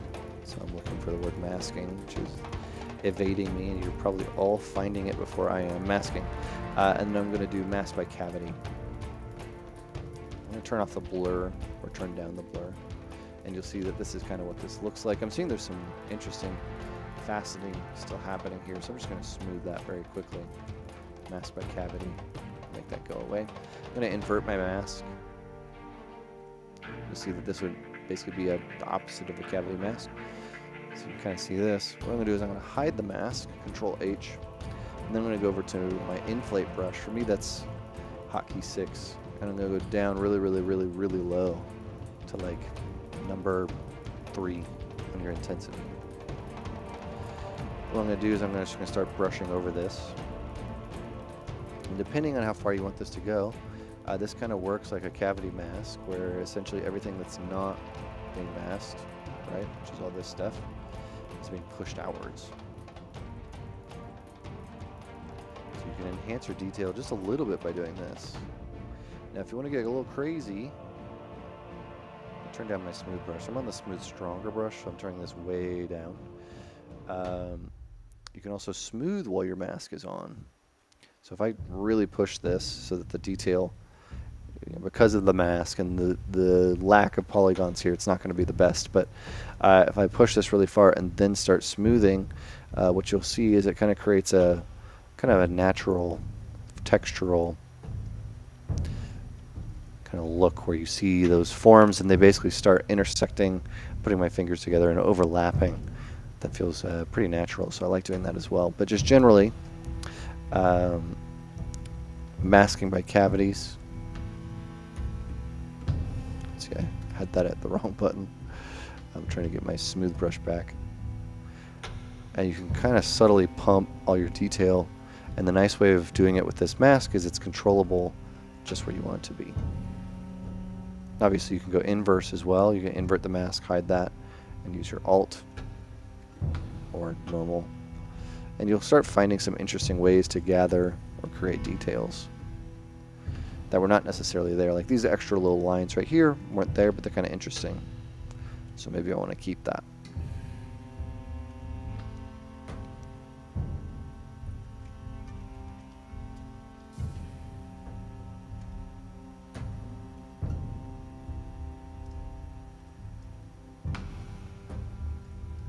So that's the way that I like to do 3D printing, or at least evaluate things for 3D printing.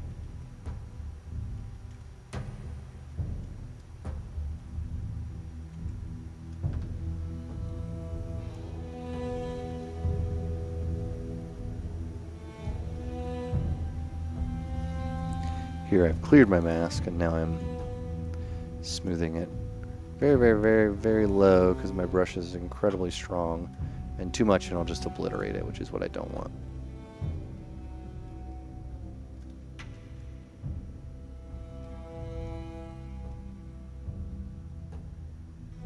Appreciate the tips, no problem.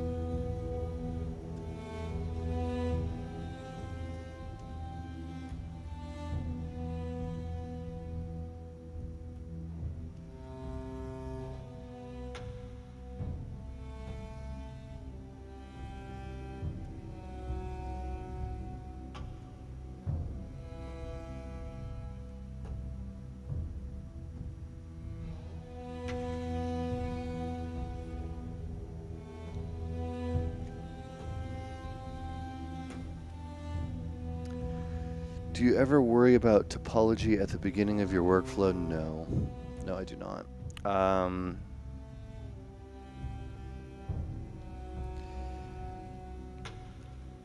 not at the beginning. I was trying to come up with something, but yeah, not at the beginning. I think, you know, especially if you're sculpting like this, like what we're doing today, finding a form, finding shapes. No. You want to make the art the best it can be. And topology can get in the way. The only thing that I would have considered and probably should have done and might even consider doing is um, using ZRemesh for this. That would have been a little bit better, you know, for the head especially. And all these little tentacles are, they're Dynamesh, so that's why these smooths are looking kind of weird. I'm using it as part of the design, but if it was uh, a proper tube, which you can see it is not, that's why it's looking weird when I'm smoothing it, is because there's these triangles that don't really like to smooth the same way that everything else does. So not necessarily at the beginning, unless I feel like I really blocked out shapes. Uh, that I'm not going to change. Uh, coincides, coincides, coincides from Twitch says, uh, say you would use this model in a game engine, would you retopo it in ZBrush or use some other software such as TopoGun? Um, for me, I would probably retopo it in another piece of software. Uh, you can use ZBrush; it's totally capable. For me, I just feel more comfortable doing it in a Maya or a TopoGun or something like you're referencing. But that's all about comfortableness. It's not necessarily about which one's better. ZBrush over the past years, decade, of course, has uh, improved so much of their uh, production tools, like retopology tools, and uh, their UV UV mas- Master is incredible. It's so fast, so easy to use, and it gets the UVs really flat, which is uh, is more catered about now often than it is about packing UVs into like a tight shell. Even in games, mobile games may be different because you're, you know, have such limited space. But in a game where you're using tileable textures, you know, PBR materials, uh, you know, that are being called in through masks or something like that, just flat UVs is what you want. So that's it can do all of that for you. There's not necessarily a reason to leave ZBrush.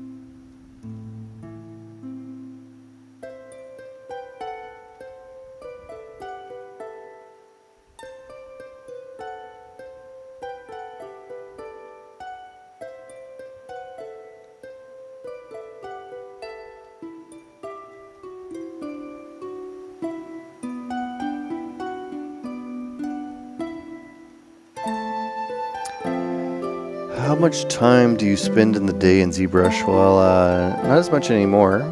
Uh, but when I was working production, I would spend, depending on the project, 8 hours, 10 hours.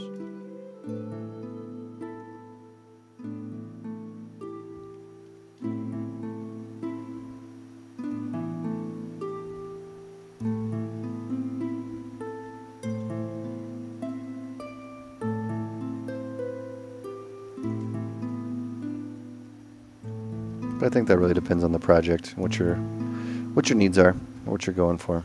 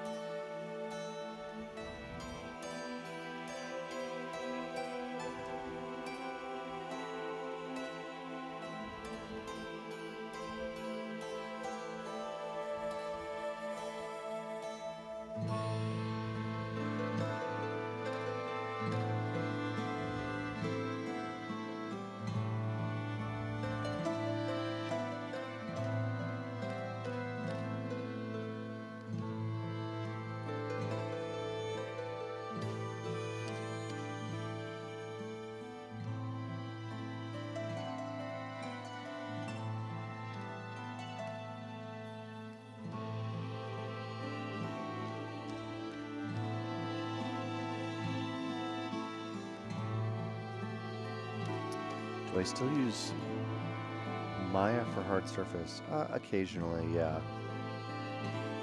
I've been getting more into using ZModeler and uh, live booleans. It's incredibly powerful, which is the reason I wanted to to dive into it a little bit more. Uh, but for me, when I'm going, I kind of started as a modeler. I actually started my career after uh, graduating from Gnomon.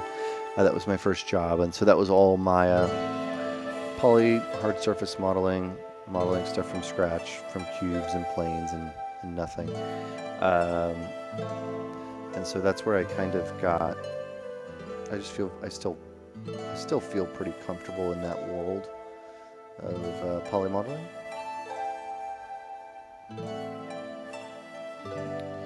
And so for if, if I'm going to do something that's more of a final resolution or really tight, clean model, uh, I don't, I, I haven't spent enough time in ZModeler or you know, cleaning up hard surface elements in ZBrush to really make them uh, as clean as I can in Maya. But I know it's possible. I just need to invest more time there.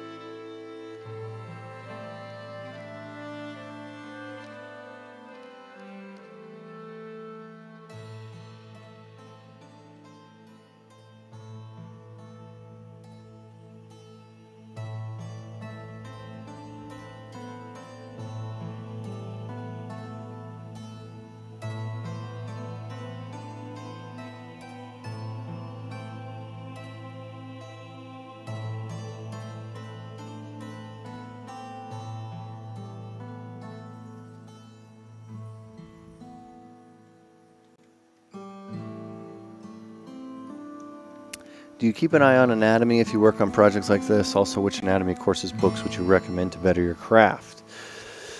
Um, I'm keeping a general eye on anatomy for a project like this, meaning I'm thinking about, you know, how muscles insert to into each other and the general layout of, because I did go with, you know, arms and legs, uh, where some things might overlap or where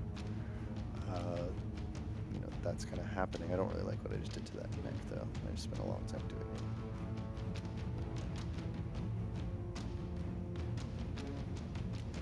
it. Uh, so I do keep an eye on that. But it's not necessarily something that I try to keep on, like, you know, this is the where the sternocleidomastoid goes, and this is where the, you know, I'm not, I'm not doing that uh, with a project specifically like this. In here. Let the rest just kind of be subtle.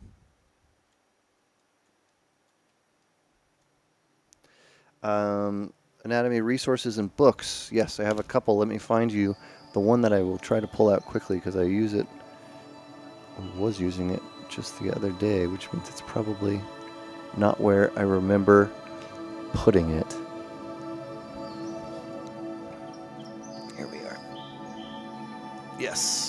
This is my favorite figure drawing book. I think a lot of people uh, get interested in um, sculpture and they want to find anatomy books, and so they look for anatomy anatomy books.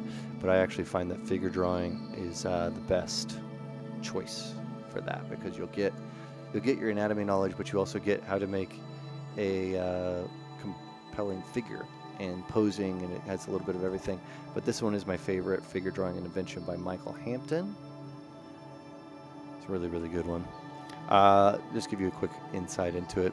Um, but the reason that I like it is just because it's broken down in a way, has beautiful illustrations, um, but it also has, uh, as I'm trying to find the right page,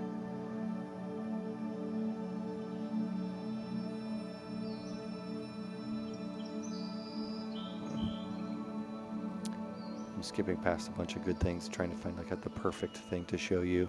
Uh, but they talk a lot about planes, which is a big element of sculpture, and they talk a lot about uh, action lines. Um, but they also break it up into a very digestible manner. Michael does, uh, as far as understanding what things do, and it also showing you, uh, you know, what it kind of looks like in an actual character, but also like the different parts of it. So, uh, highly, highly recommend this one, which is figure drawing. Uh, Design and Invention by Michael Hampton. Uh, other ones, if you're just interested in general anatomy knowledge, one of the ones that are, are is, you know, uh, we teach at Gnomon and uh, or reference at Gnomon uh, is George Bridgman's books. So uh, George Bridgman's books look like these. And there's a whole series of these from the human machine to heads, features, and hands and faces, and there's all this kind of stuff. Uh, but Bridgman really, really talks quite a bit about, uh, as well, talks about planes.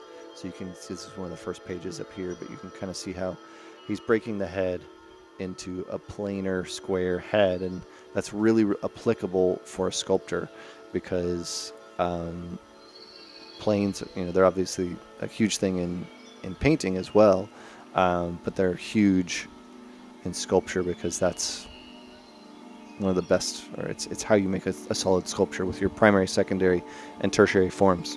So Bridgman and Michael Hampton are probably the two uh, that I recommend the most to everybody. There are some great anatomy anatomy books if you're just looking for pure anatomy books. Um, but from you know, to, there's the whole uh, anatomy for artists. There's Burne Hogarth. There's a ton that are out there. Uh, but for me, I prefer something that's more based around figure drawing because it's more for artists. Anatomy for artists is good, things like that. I just don't really love the idea of trying to learn, and for me, I don't think it's necessarily important to learn the names. At least not, not at this point for me.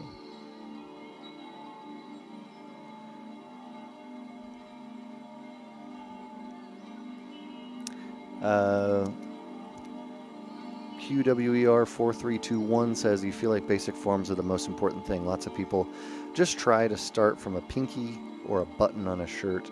Yes, I agree. Um, primary, secondary, tertiary forms are definitely the thing that you should focus on. If you don't know what that is, look up what a primary, secondary, and tertiary forms are. Uh, it's in it's it's essentially the one, twos, and threes of what people talk about when they do landscape plein air painting. It's the very similar mindset to talking about line weights with one, twos, and threes. Uh, if you know anything about any of that, you'll it'll click pretty quickly once you get into it. I would definitely recommend that for sure.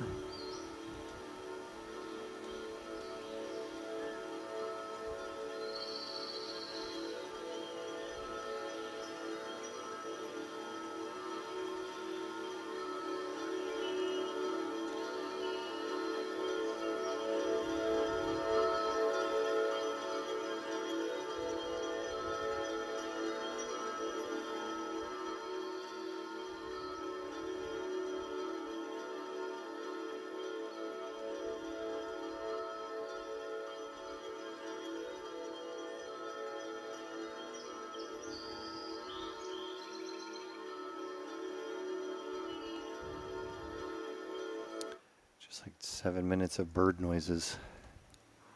It's not what I wanted. All right, let's get into a little different vibe for the last uh, 40 or so minutes. Let's find if I can get one of these.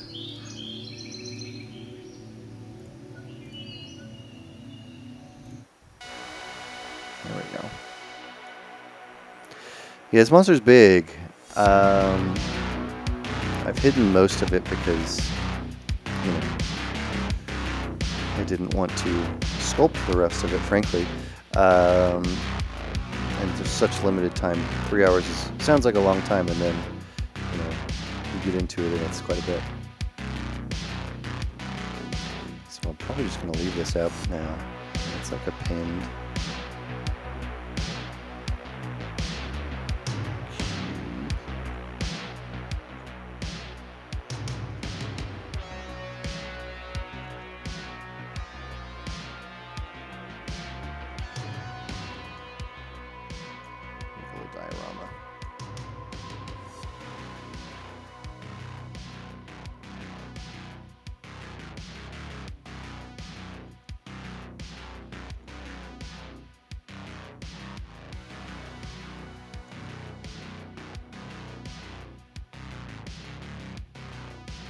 What was let's see. What would you consider sculpting in the first year as a first timer slash learner? Good question. Really good question. Uh, anatomy. Anatomy is going to be the first thing that I'm going to recommend to everybody. Uh, obviously, we just talked about some anatomy books, so you can always reference those. Those are fantastic. Um, I should have done the other side of this cube.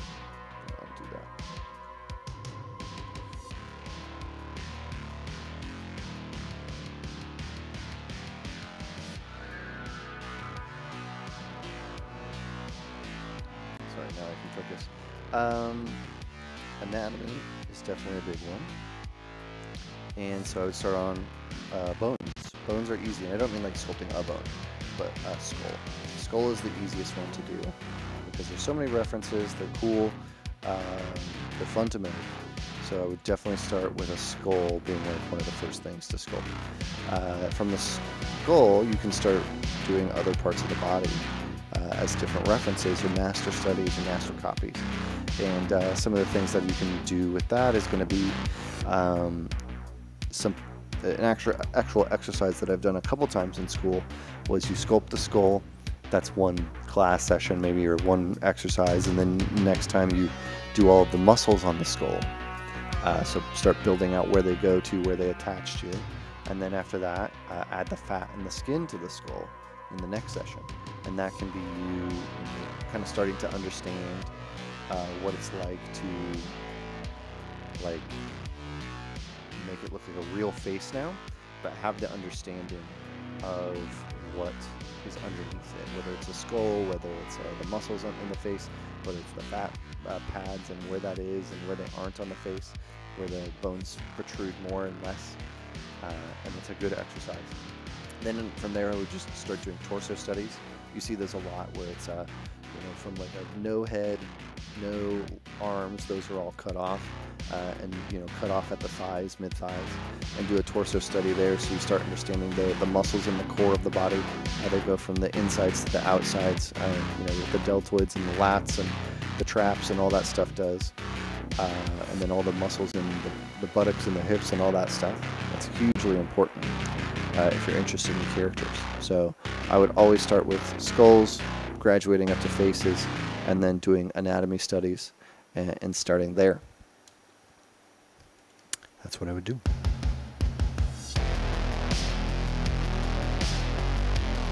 Let's do our thick skin feature. I liked playing with this before. And let's go into our, I think it's called thick skin clay.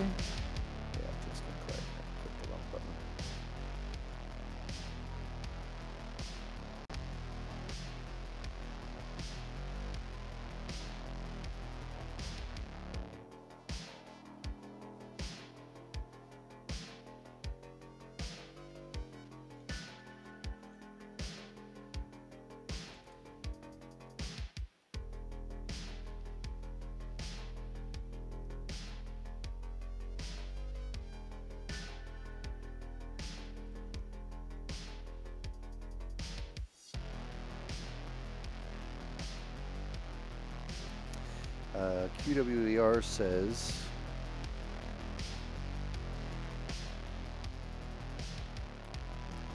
With a monster like this, I guess the audience doesn't care as much about anatomy. Some people, or people seem to be the most critical of something they saw already, like cats or dogs. You didn't say dogs, but yeah, you're not wrong. Um, yeah, you're not wrong.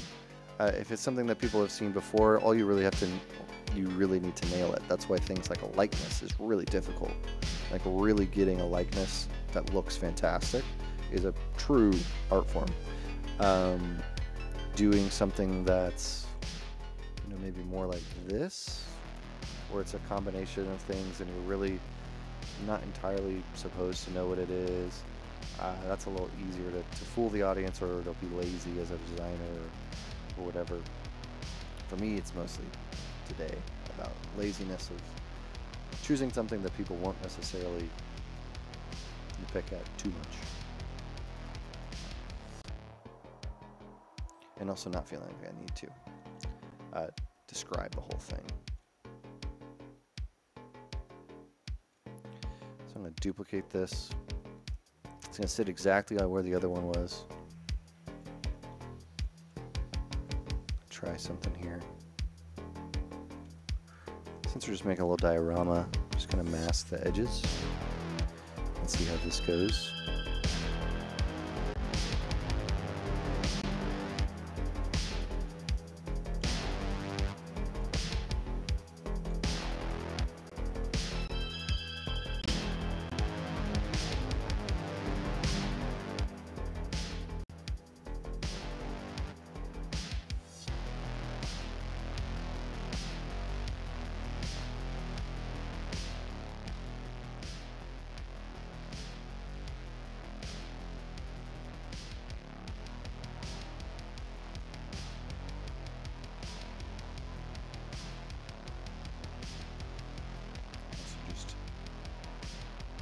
Fairy tales do and just hide it.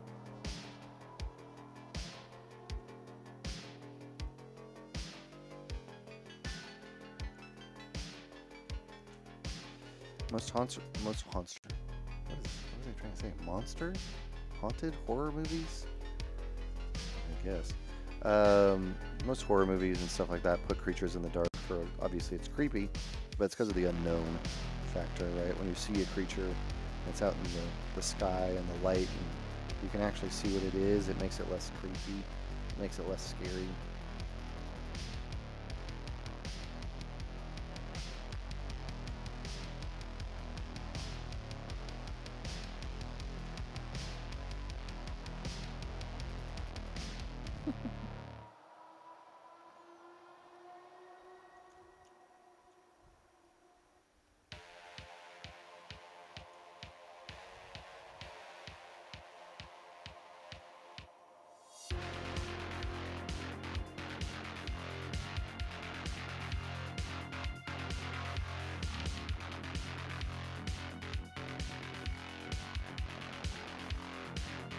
Yeah, the toad-like legs. We did uh, we did say a swamp, or somebody said a swamp earlier. Somebody said uh, something spooky.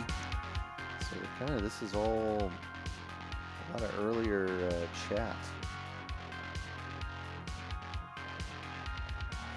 earlier chat references. No, not references. Is that the right word? Uh, yeah, references. Earlier chat references kind of coming to fruition here with sort of a spooky swamp creature um, I'll probably come in here. I wouldn't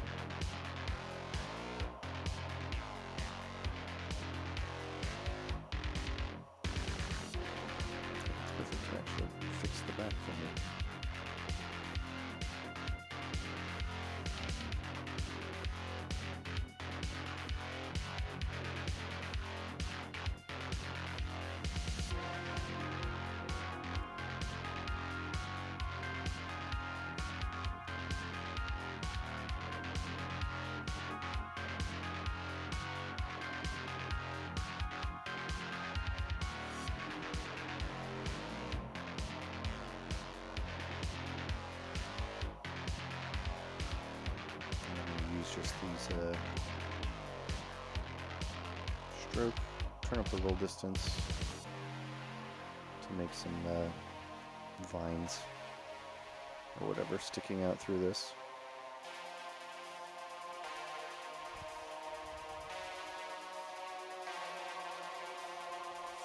Could also use the insert coops, insert tubes brush. I'm really mixing my words today. Um, that would be another one the goal of this is to basically make it so that if the character, the human character, didn't see this other hand here, we could pretend that uh, lurking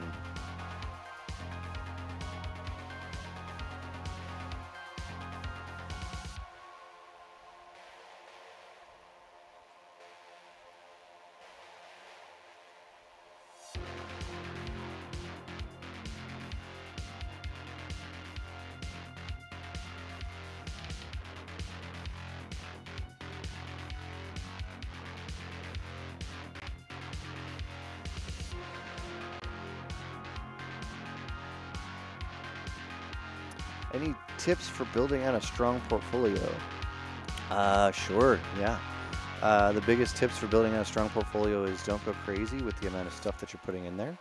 Uh, know what you're trying to get a job for, and um, if you're questionable about it and you think it might not be good, don't put it in there because professionals almost certainly won't think it's good. This is for students, obviously. Students trying to get their first time job.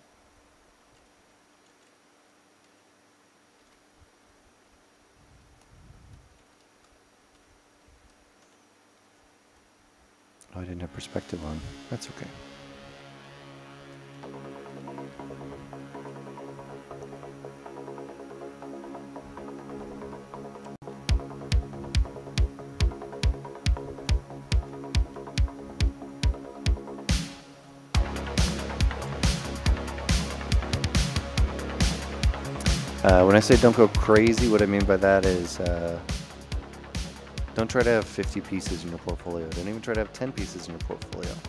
I would say aim for five. Five good pieces will be fine. Honestly, two good pieces will be fine. But they have to be good. That's really important. They have to be good.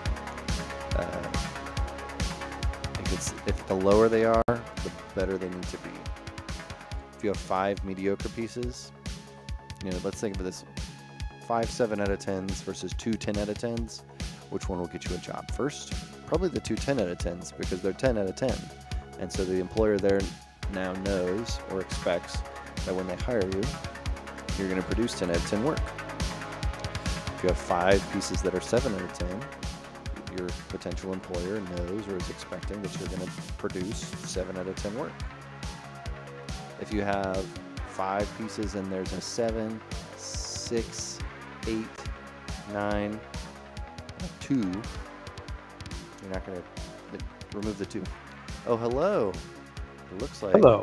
your power is back. Welcome. Uh, man, unexpected, weird, no power day. yeah, ay, ay, ay. seems like it. Uh, yeah, but it came back like uh, half an hour ago. I guess we have a new power pole on the street. Well, that's nice. So you got some jamming music playing. Yeah, we got some cyberpunk. Oh, is that what it is? I think, yeah. nice. It had the it has a icon of the Terminator on it, so that was what made me click on it. Okay. Damn. That's high energy. I was listening to that fantasy one for so long, and all of a sudden, uh, I was feeling a little sleepy, so I needed to change it up. It can be a, a rather soothing, Yeah. It's like, Yeah. This is really pleasant. but uh, that's funny. I texted my neighbor this morning, and then uh, at like 7:30, he's like, "So, uh, are you aware that the power's going to be out all day?" What? Uh, no. So yeah, I guess I have to get on the notification list with the power company. Yeah. So like, I guess they're replacing all the poles in the neighborhood. Yeah. So it's like one at a time, and it takes a whole day per pole. So, because this is the second time I've experienced this. Oh, really? So they're going to be Mhm. doing this more with the rest of them. I guess. So, I mean, the neighbor was kind of like, "Yay, new pole." I'm like, I don't know, my power's been fine, Yeah, like, except okay. for when they replaced the pole. Yeah. I only have problems, Wayne. But uh, anyway, how's it going with you? Good. Just kind of making a creature today. I tried to jump into Unreal 5 and uh, I pulled in some bridge assets and the lighting was like going through the back of them. And I was like, Okay. like, and I turned on your double sided and all that stuff to see if it would fix it, and it didn't. So, pivoted to sculpting a weird swamp Um, creature. Yeah, it looks awesome. So, but yeah, it was interesting. I was playing around with it, and I pulled in some bridge assets, and they uploaded font, you know, going straight from the the Quixel bridge, hmm uh, which is in the content browser, which is cool, and but they were just not lighting correctly. So there was somebody in the chat that was saying like they were having some issues with the textures and other things that were happening. So Right. Yeah, I mean, I think uh, doesn't Lumen like have to be enabled in your uh, preferences for your project? It, I think it does, yeah. But this was just like with the directional light. So it was weird. it was giving some weird results that I figured we'll do. Uh, I'll troubleshoot that off stream and then we'll try it next Yeah. time. Yeah. But it was working. It was working good. I like the new layout and some of the even just the ease of use features that they have. Yeah. It's like feels more. The, the interface feels like your. Um, it's not so many small windows. Like you can collapse the content browser a lot easily, a lot more Right. easily, and just feels like you have a bigger working space. Yeah, it looks. I mean, it definitely looks more modern, which is cool. Yeah. Because yeah, UI changes tend to be pretty rare in programs. Yeah. Although it's funny to think if you look at uh, every now and then something will pop up of like an old Gnomon Workshop title, and I'll see like the UI of like you know Photoshop or Maya Yes. 10, 15 Yeah. years ago. It's like, oh no, it has changed. Oh, it has changed a lot. It's like all these small incremental changes. Well, Maya used to be super bright. Yes. You know, Photoshop which- too. Yeah, Photoshop as well. So I, I definitely like the the dark mode. Yeah, I do too. Makes So you made- you made this to from save scratch today? I did. Yeah, we were. Uh, we just kind of made. Uh, what did we do? Let's see. I'll just, let me just save it. So if I undo this thing, it doesn't delete itself.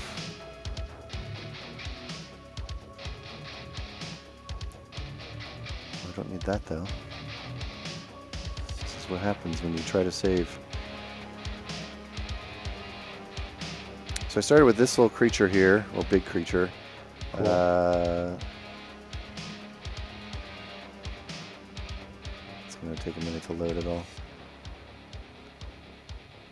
But I started with this head, and I wasn't really sure what I was going to do.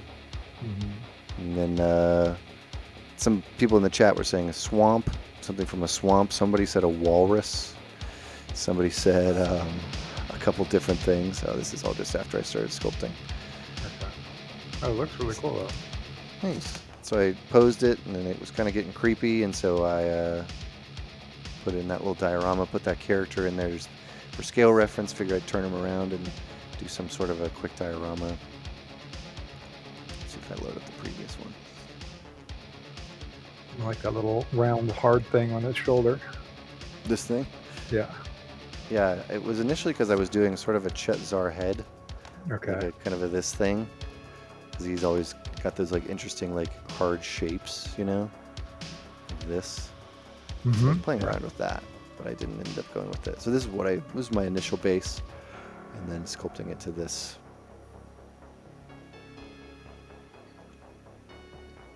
Very cool. Having uh, actually having lunch with Chet on Saturday. Nice. That'd be fun. Seen him in a while. Yeah, I guess he's uh, finishing up whole bunch of new paintings for a new show at Copro next month. Cool. So that should be a cool opening to go to. But hopefully, you'll get a sneak peek of some of the paintings at his house. Mm-hmm. Yeah, that'd be awesome. I don't know what this shape should be. Like it's there. Part of me was like, just like do it. It'd be too much detail, but like doing some like thing. Like, yeah, it's like a root, I guess, like a trunk. It's cool. Then it looks like eyeballs. I feel like I've seen shapes like that on like the kaiju. Yeah, yeah, yeah. I never saw the second movie. Did you? I did. I wasn't a major fan of it. I think it just. It's not a Del Toro movie at that point. I think it just was missing some of that love letter Mm-hmm. to, to kaiju movies. Eyes on the shoulders. Yeah, see? Somebody says love Chet Zar. Yep. How would you find reference for this environment? Uh, Google, I guess. I don't know. or a book. Just start opening books. Yeah, being good at searching on Google is a, its own kind of like kung fu. it's definitely a a. skill. Mm-hmm. But you just got to use the adjectives that you're trying to convey, and it's pretty effective. So it's like if you're Mhm. searching for cave, search for creepy cave or foggy cave or you Mhm. know.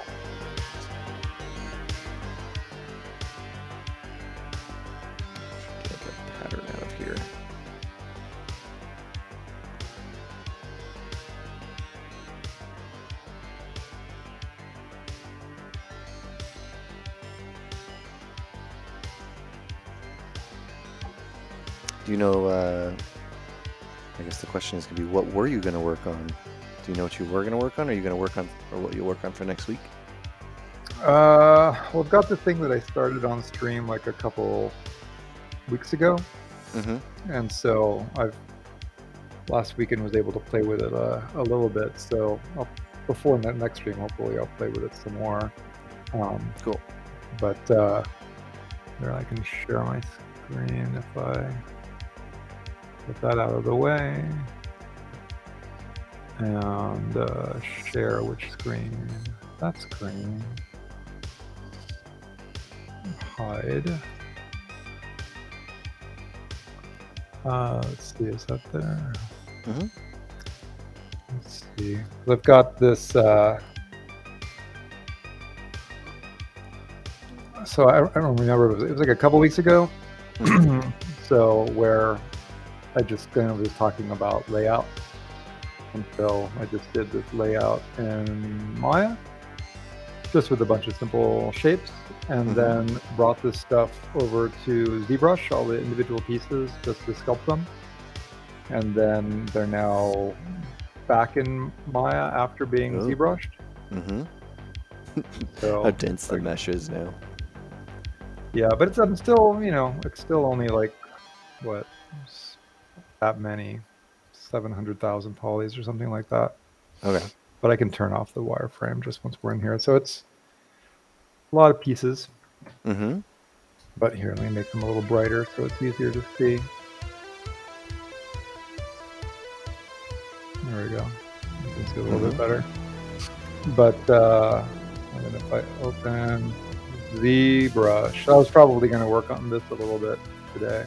So I'll, I'll, but basically it's just a bunch of sculpting. So and a lot of pieces. Mm-hmm. Finally using folders in the subtool palette. yeah, I after like seeing that. you use them. Yeah. Um, but yeah, They're a little weird to get used to, but they they're nice to just clean it all up. Yeah, for sure.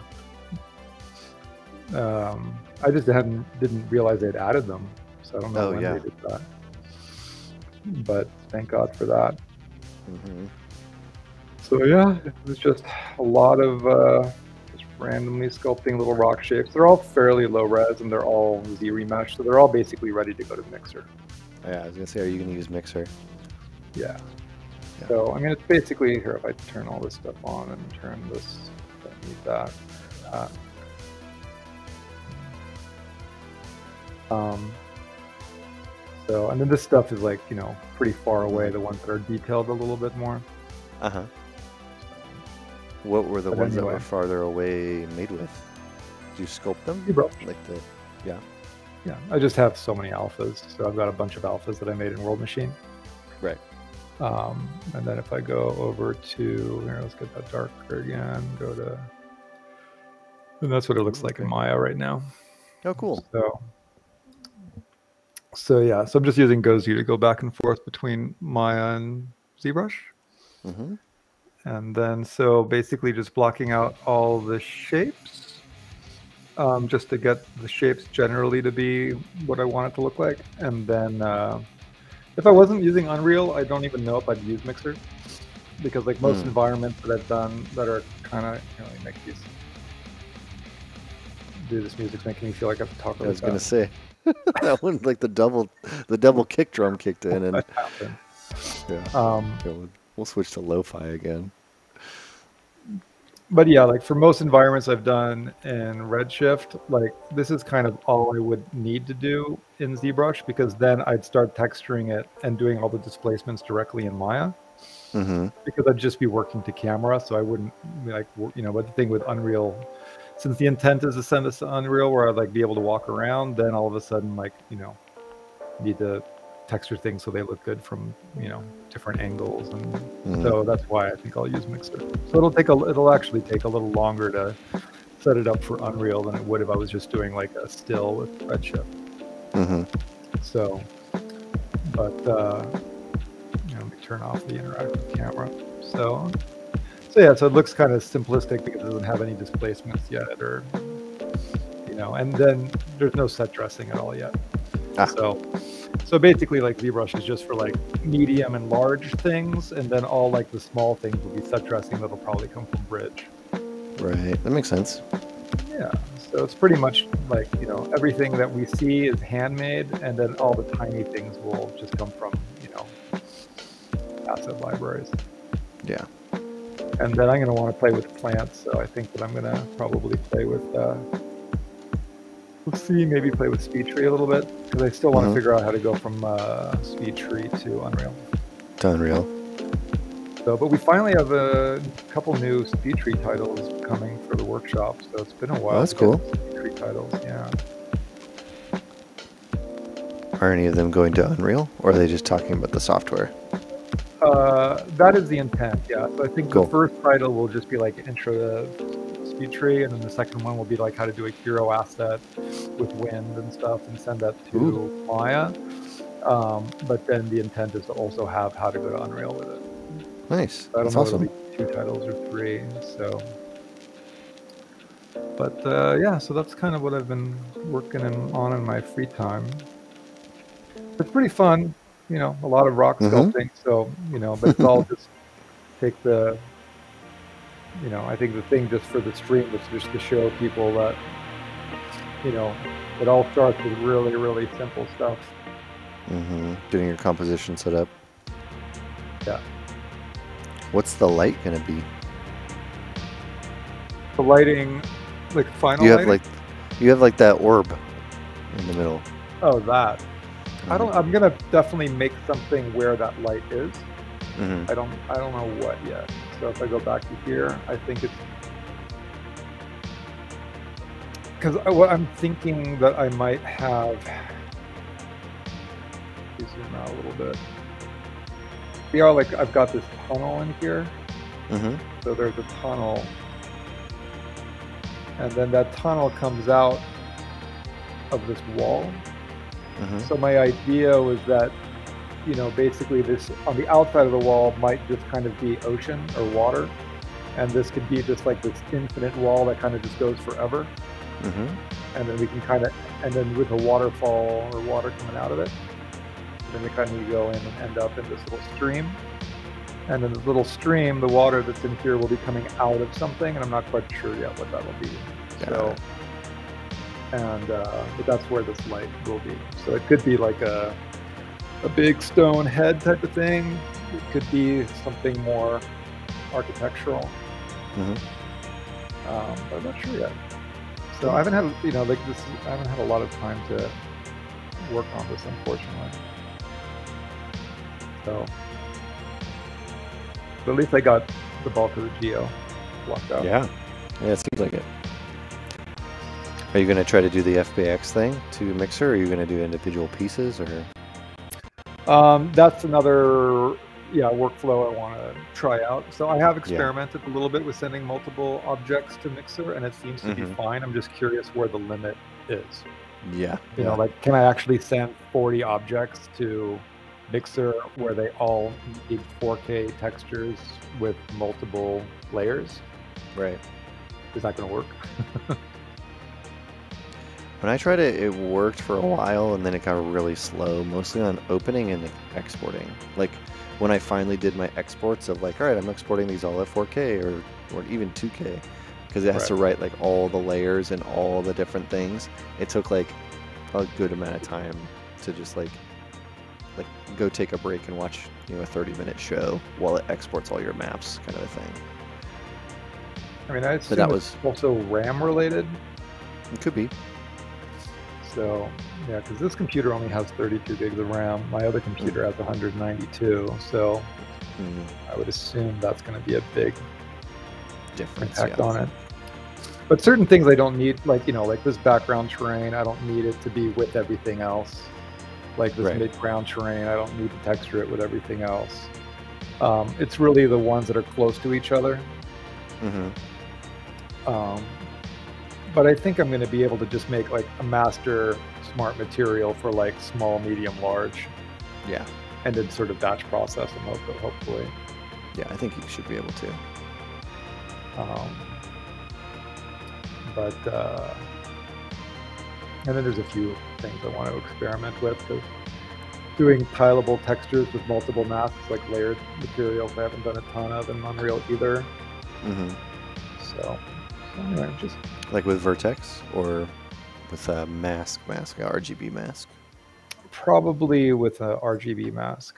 Cool. So, so yeah, I'm just just kind of like a personal project just to experiment with workflow. Mm-hmm. It's awesome. Um, because ultimately, for environments that are going to have a lot of pieces, doing them one at a time, where you don't know the context of how they relate to each other, is, in Mixer is kind of problematic as opposed to the way I'm used to doing stuff. mm-hmm. You know, because I'm used to texturing things while rendering in viewport in Maya, and so kind of I know how everything relates as I texture stuff. So And what was the process you would have used, like for the Redshift? Like, obviously not Mixer, so you would have used. for Red, well, Maya? Redshift, Redshift, I'd start with the ground and texture it and do displacements all just via, you know, using Megascans textures from Bridge, but bringing them to Maya just, you know, and trying different ones out. Mm. And then, uh, but for things that are, you know, like if this is going to be a foggy environment, for example, it's like it doesn't really matter what the texture is, even on something that's that far away. No, yeah. So I, I you know, so I just threw it, you know, tileable texture of something rocky on there as a displacement in a normal, and in the fog it would probably be fine because fog Yeah. obscures detail. And then for the close objects, um, you know, I probably would just. Uh, I guess the point is, is that like with Maya, it's not a big deal to experiment because I'm just pulling textures from my local texture library. But with Mhm. Unreal, it's the whole thing where you're or Mixer, where you're committing, like you're going to Mixer and committing to something, and then sending it to Unreal and committing it to the project. Mm-hmm. It's kind of like doodling as opposed to more of like a production pipeline. Mm-hmm. And with I just wonder if there's like a in between though, because you could do the same thing and just bring the textures in um, the, the same way you would, right? well, probably. Yeah, but there's not like an easy way to just download them. I, I guess I don't know. Yeah, I don't know, but we'll experiment. That's cool. Somebody was asking, "Do you use alphas for details? Is that a thing from the past that I keep doing?" Uh, no, definitely alphas are a thing. Alphas are a huge thing. Yeah. Yeah, so like, you know, all of this stuff that's going on back here on, you know, these shapes, that's all based on using alphas. That would Mhm. take forever to sculpt by hand. And so same thing with this. So yeah, I've showed this before, but like in my alpha palette, you know, I've got all these alphas that I've made. So I go into World Machine, it's just a whole bunch of.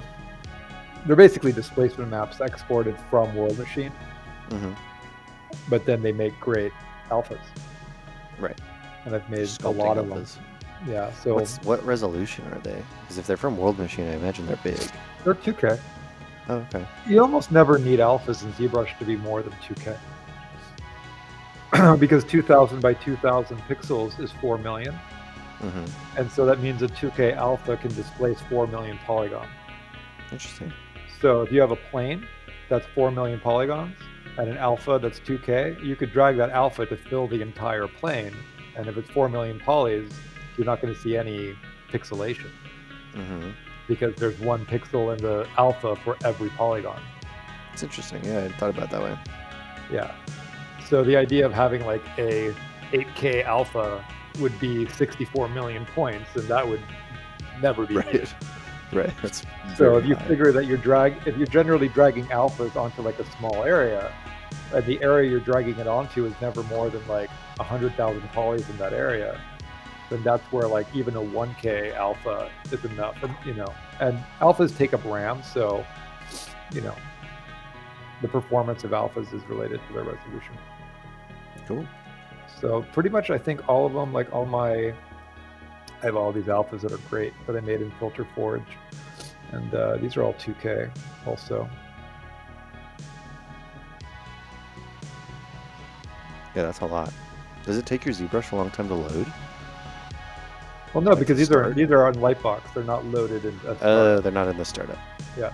The only one I swap which ones are in in the Z startup Z alphas folder. Like you'll see these are already in here. Mhm. I'll if I know I'm going to be sculpting with alphas, and then I might like pre-put them in that directory just so they do load on startup because it, they're just there. Right. Because it's so annoying in Lightbox when you go to an alpha, you have to like double click like a bunch of times Yeah. to get it to load. Yeah. Um. But yeah, so like if I go into this dude right here, just go to standard and drag rectangle, and lightbox. Go to world machine. So yeah, if I grab one of these and double click, like it doesn't load. Double click again, then it does. So Huh. annoying. Just quadruple click.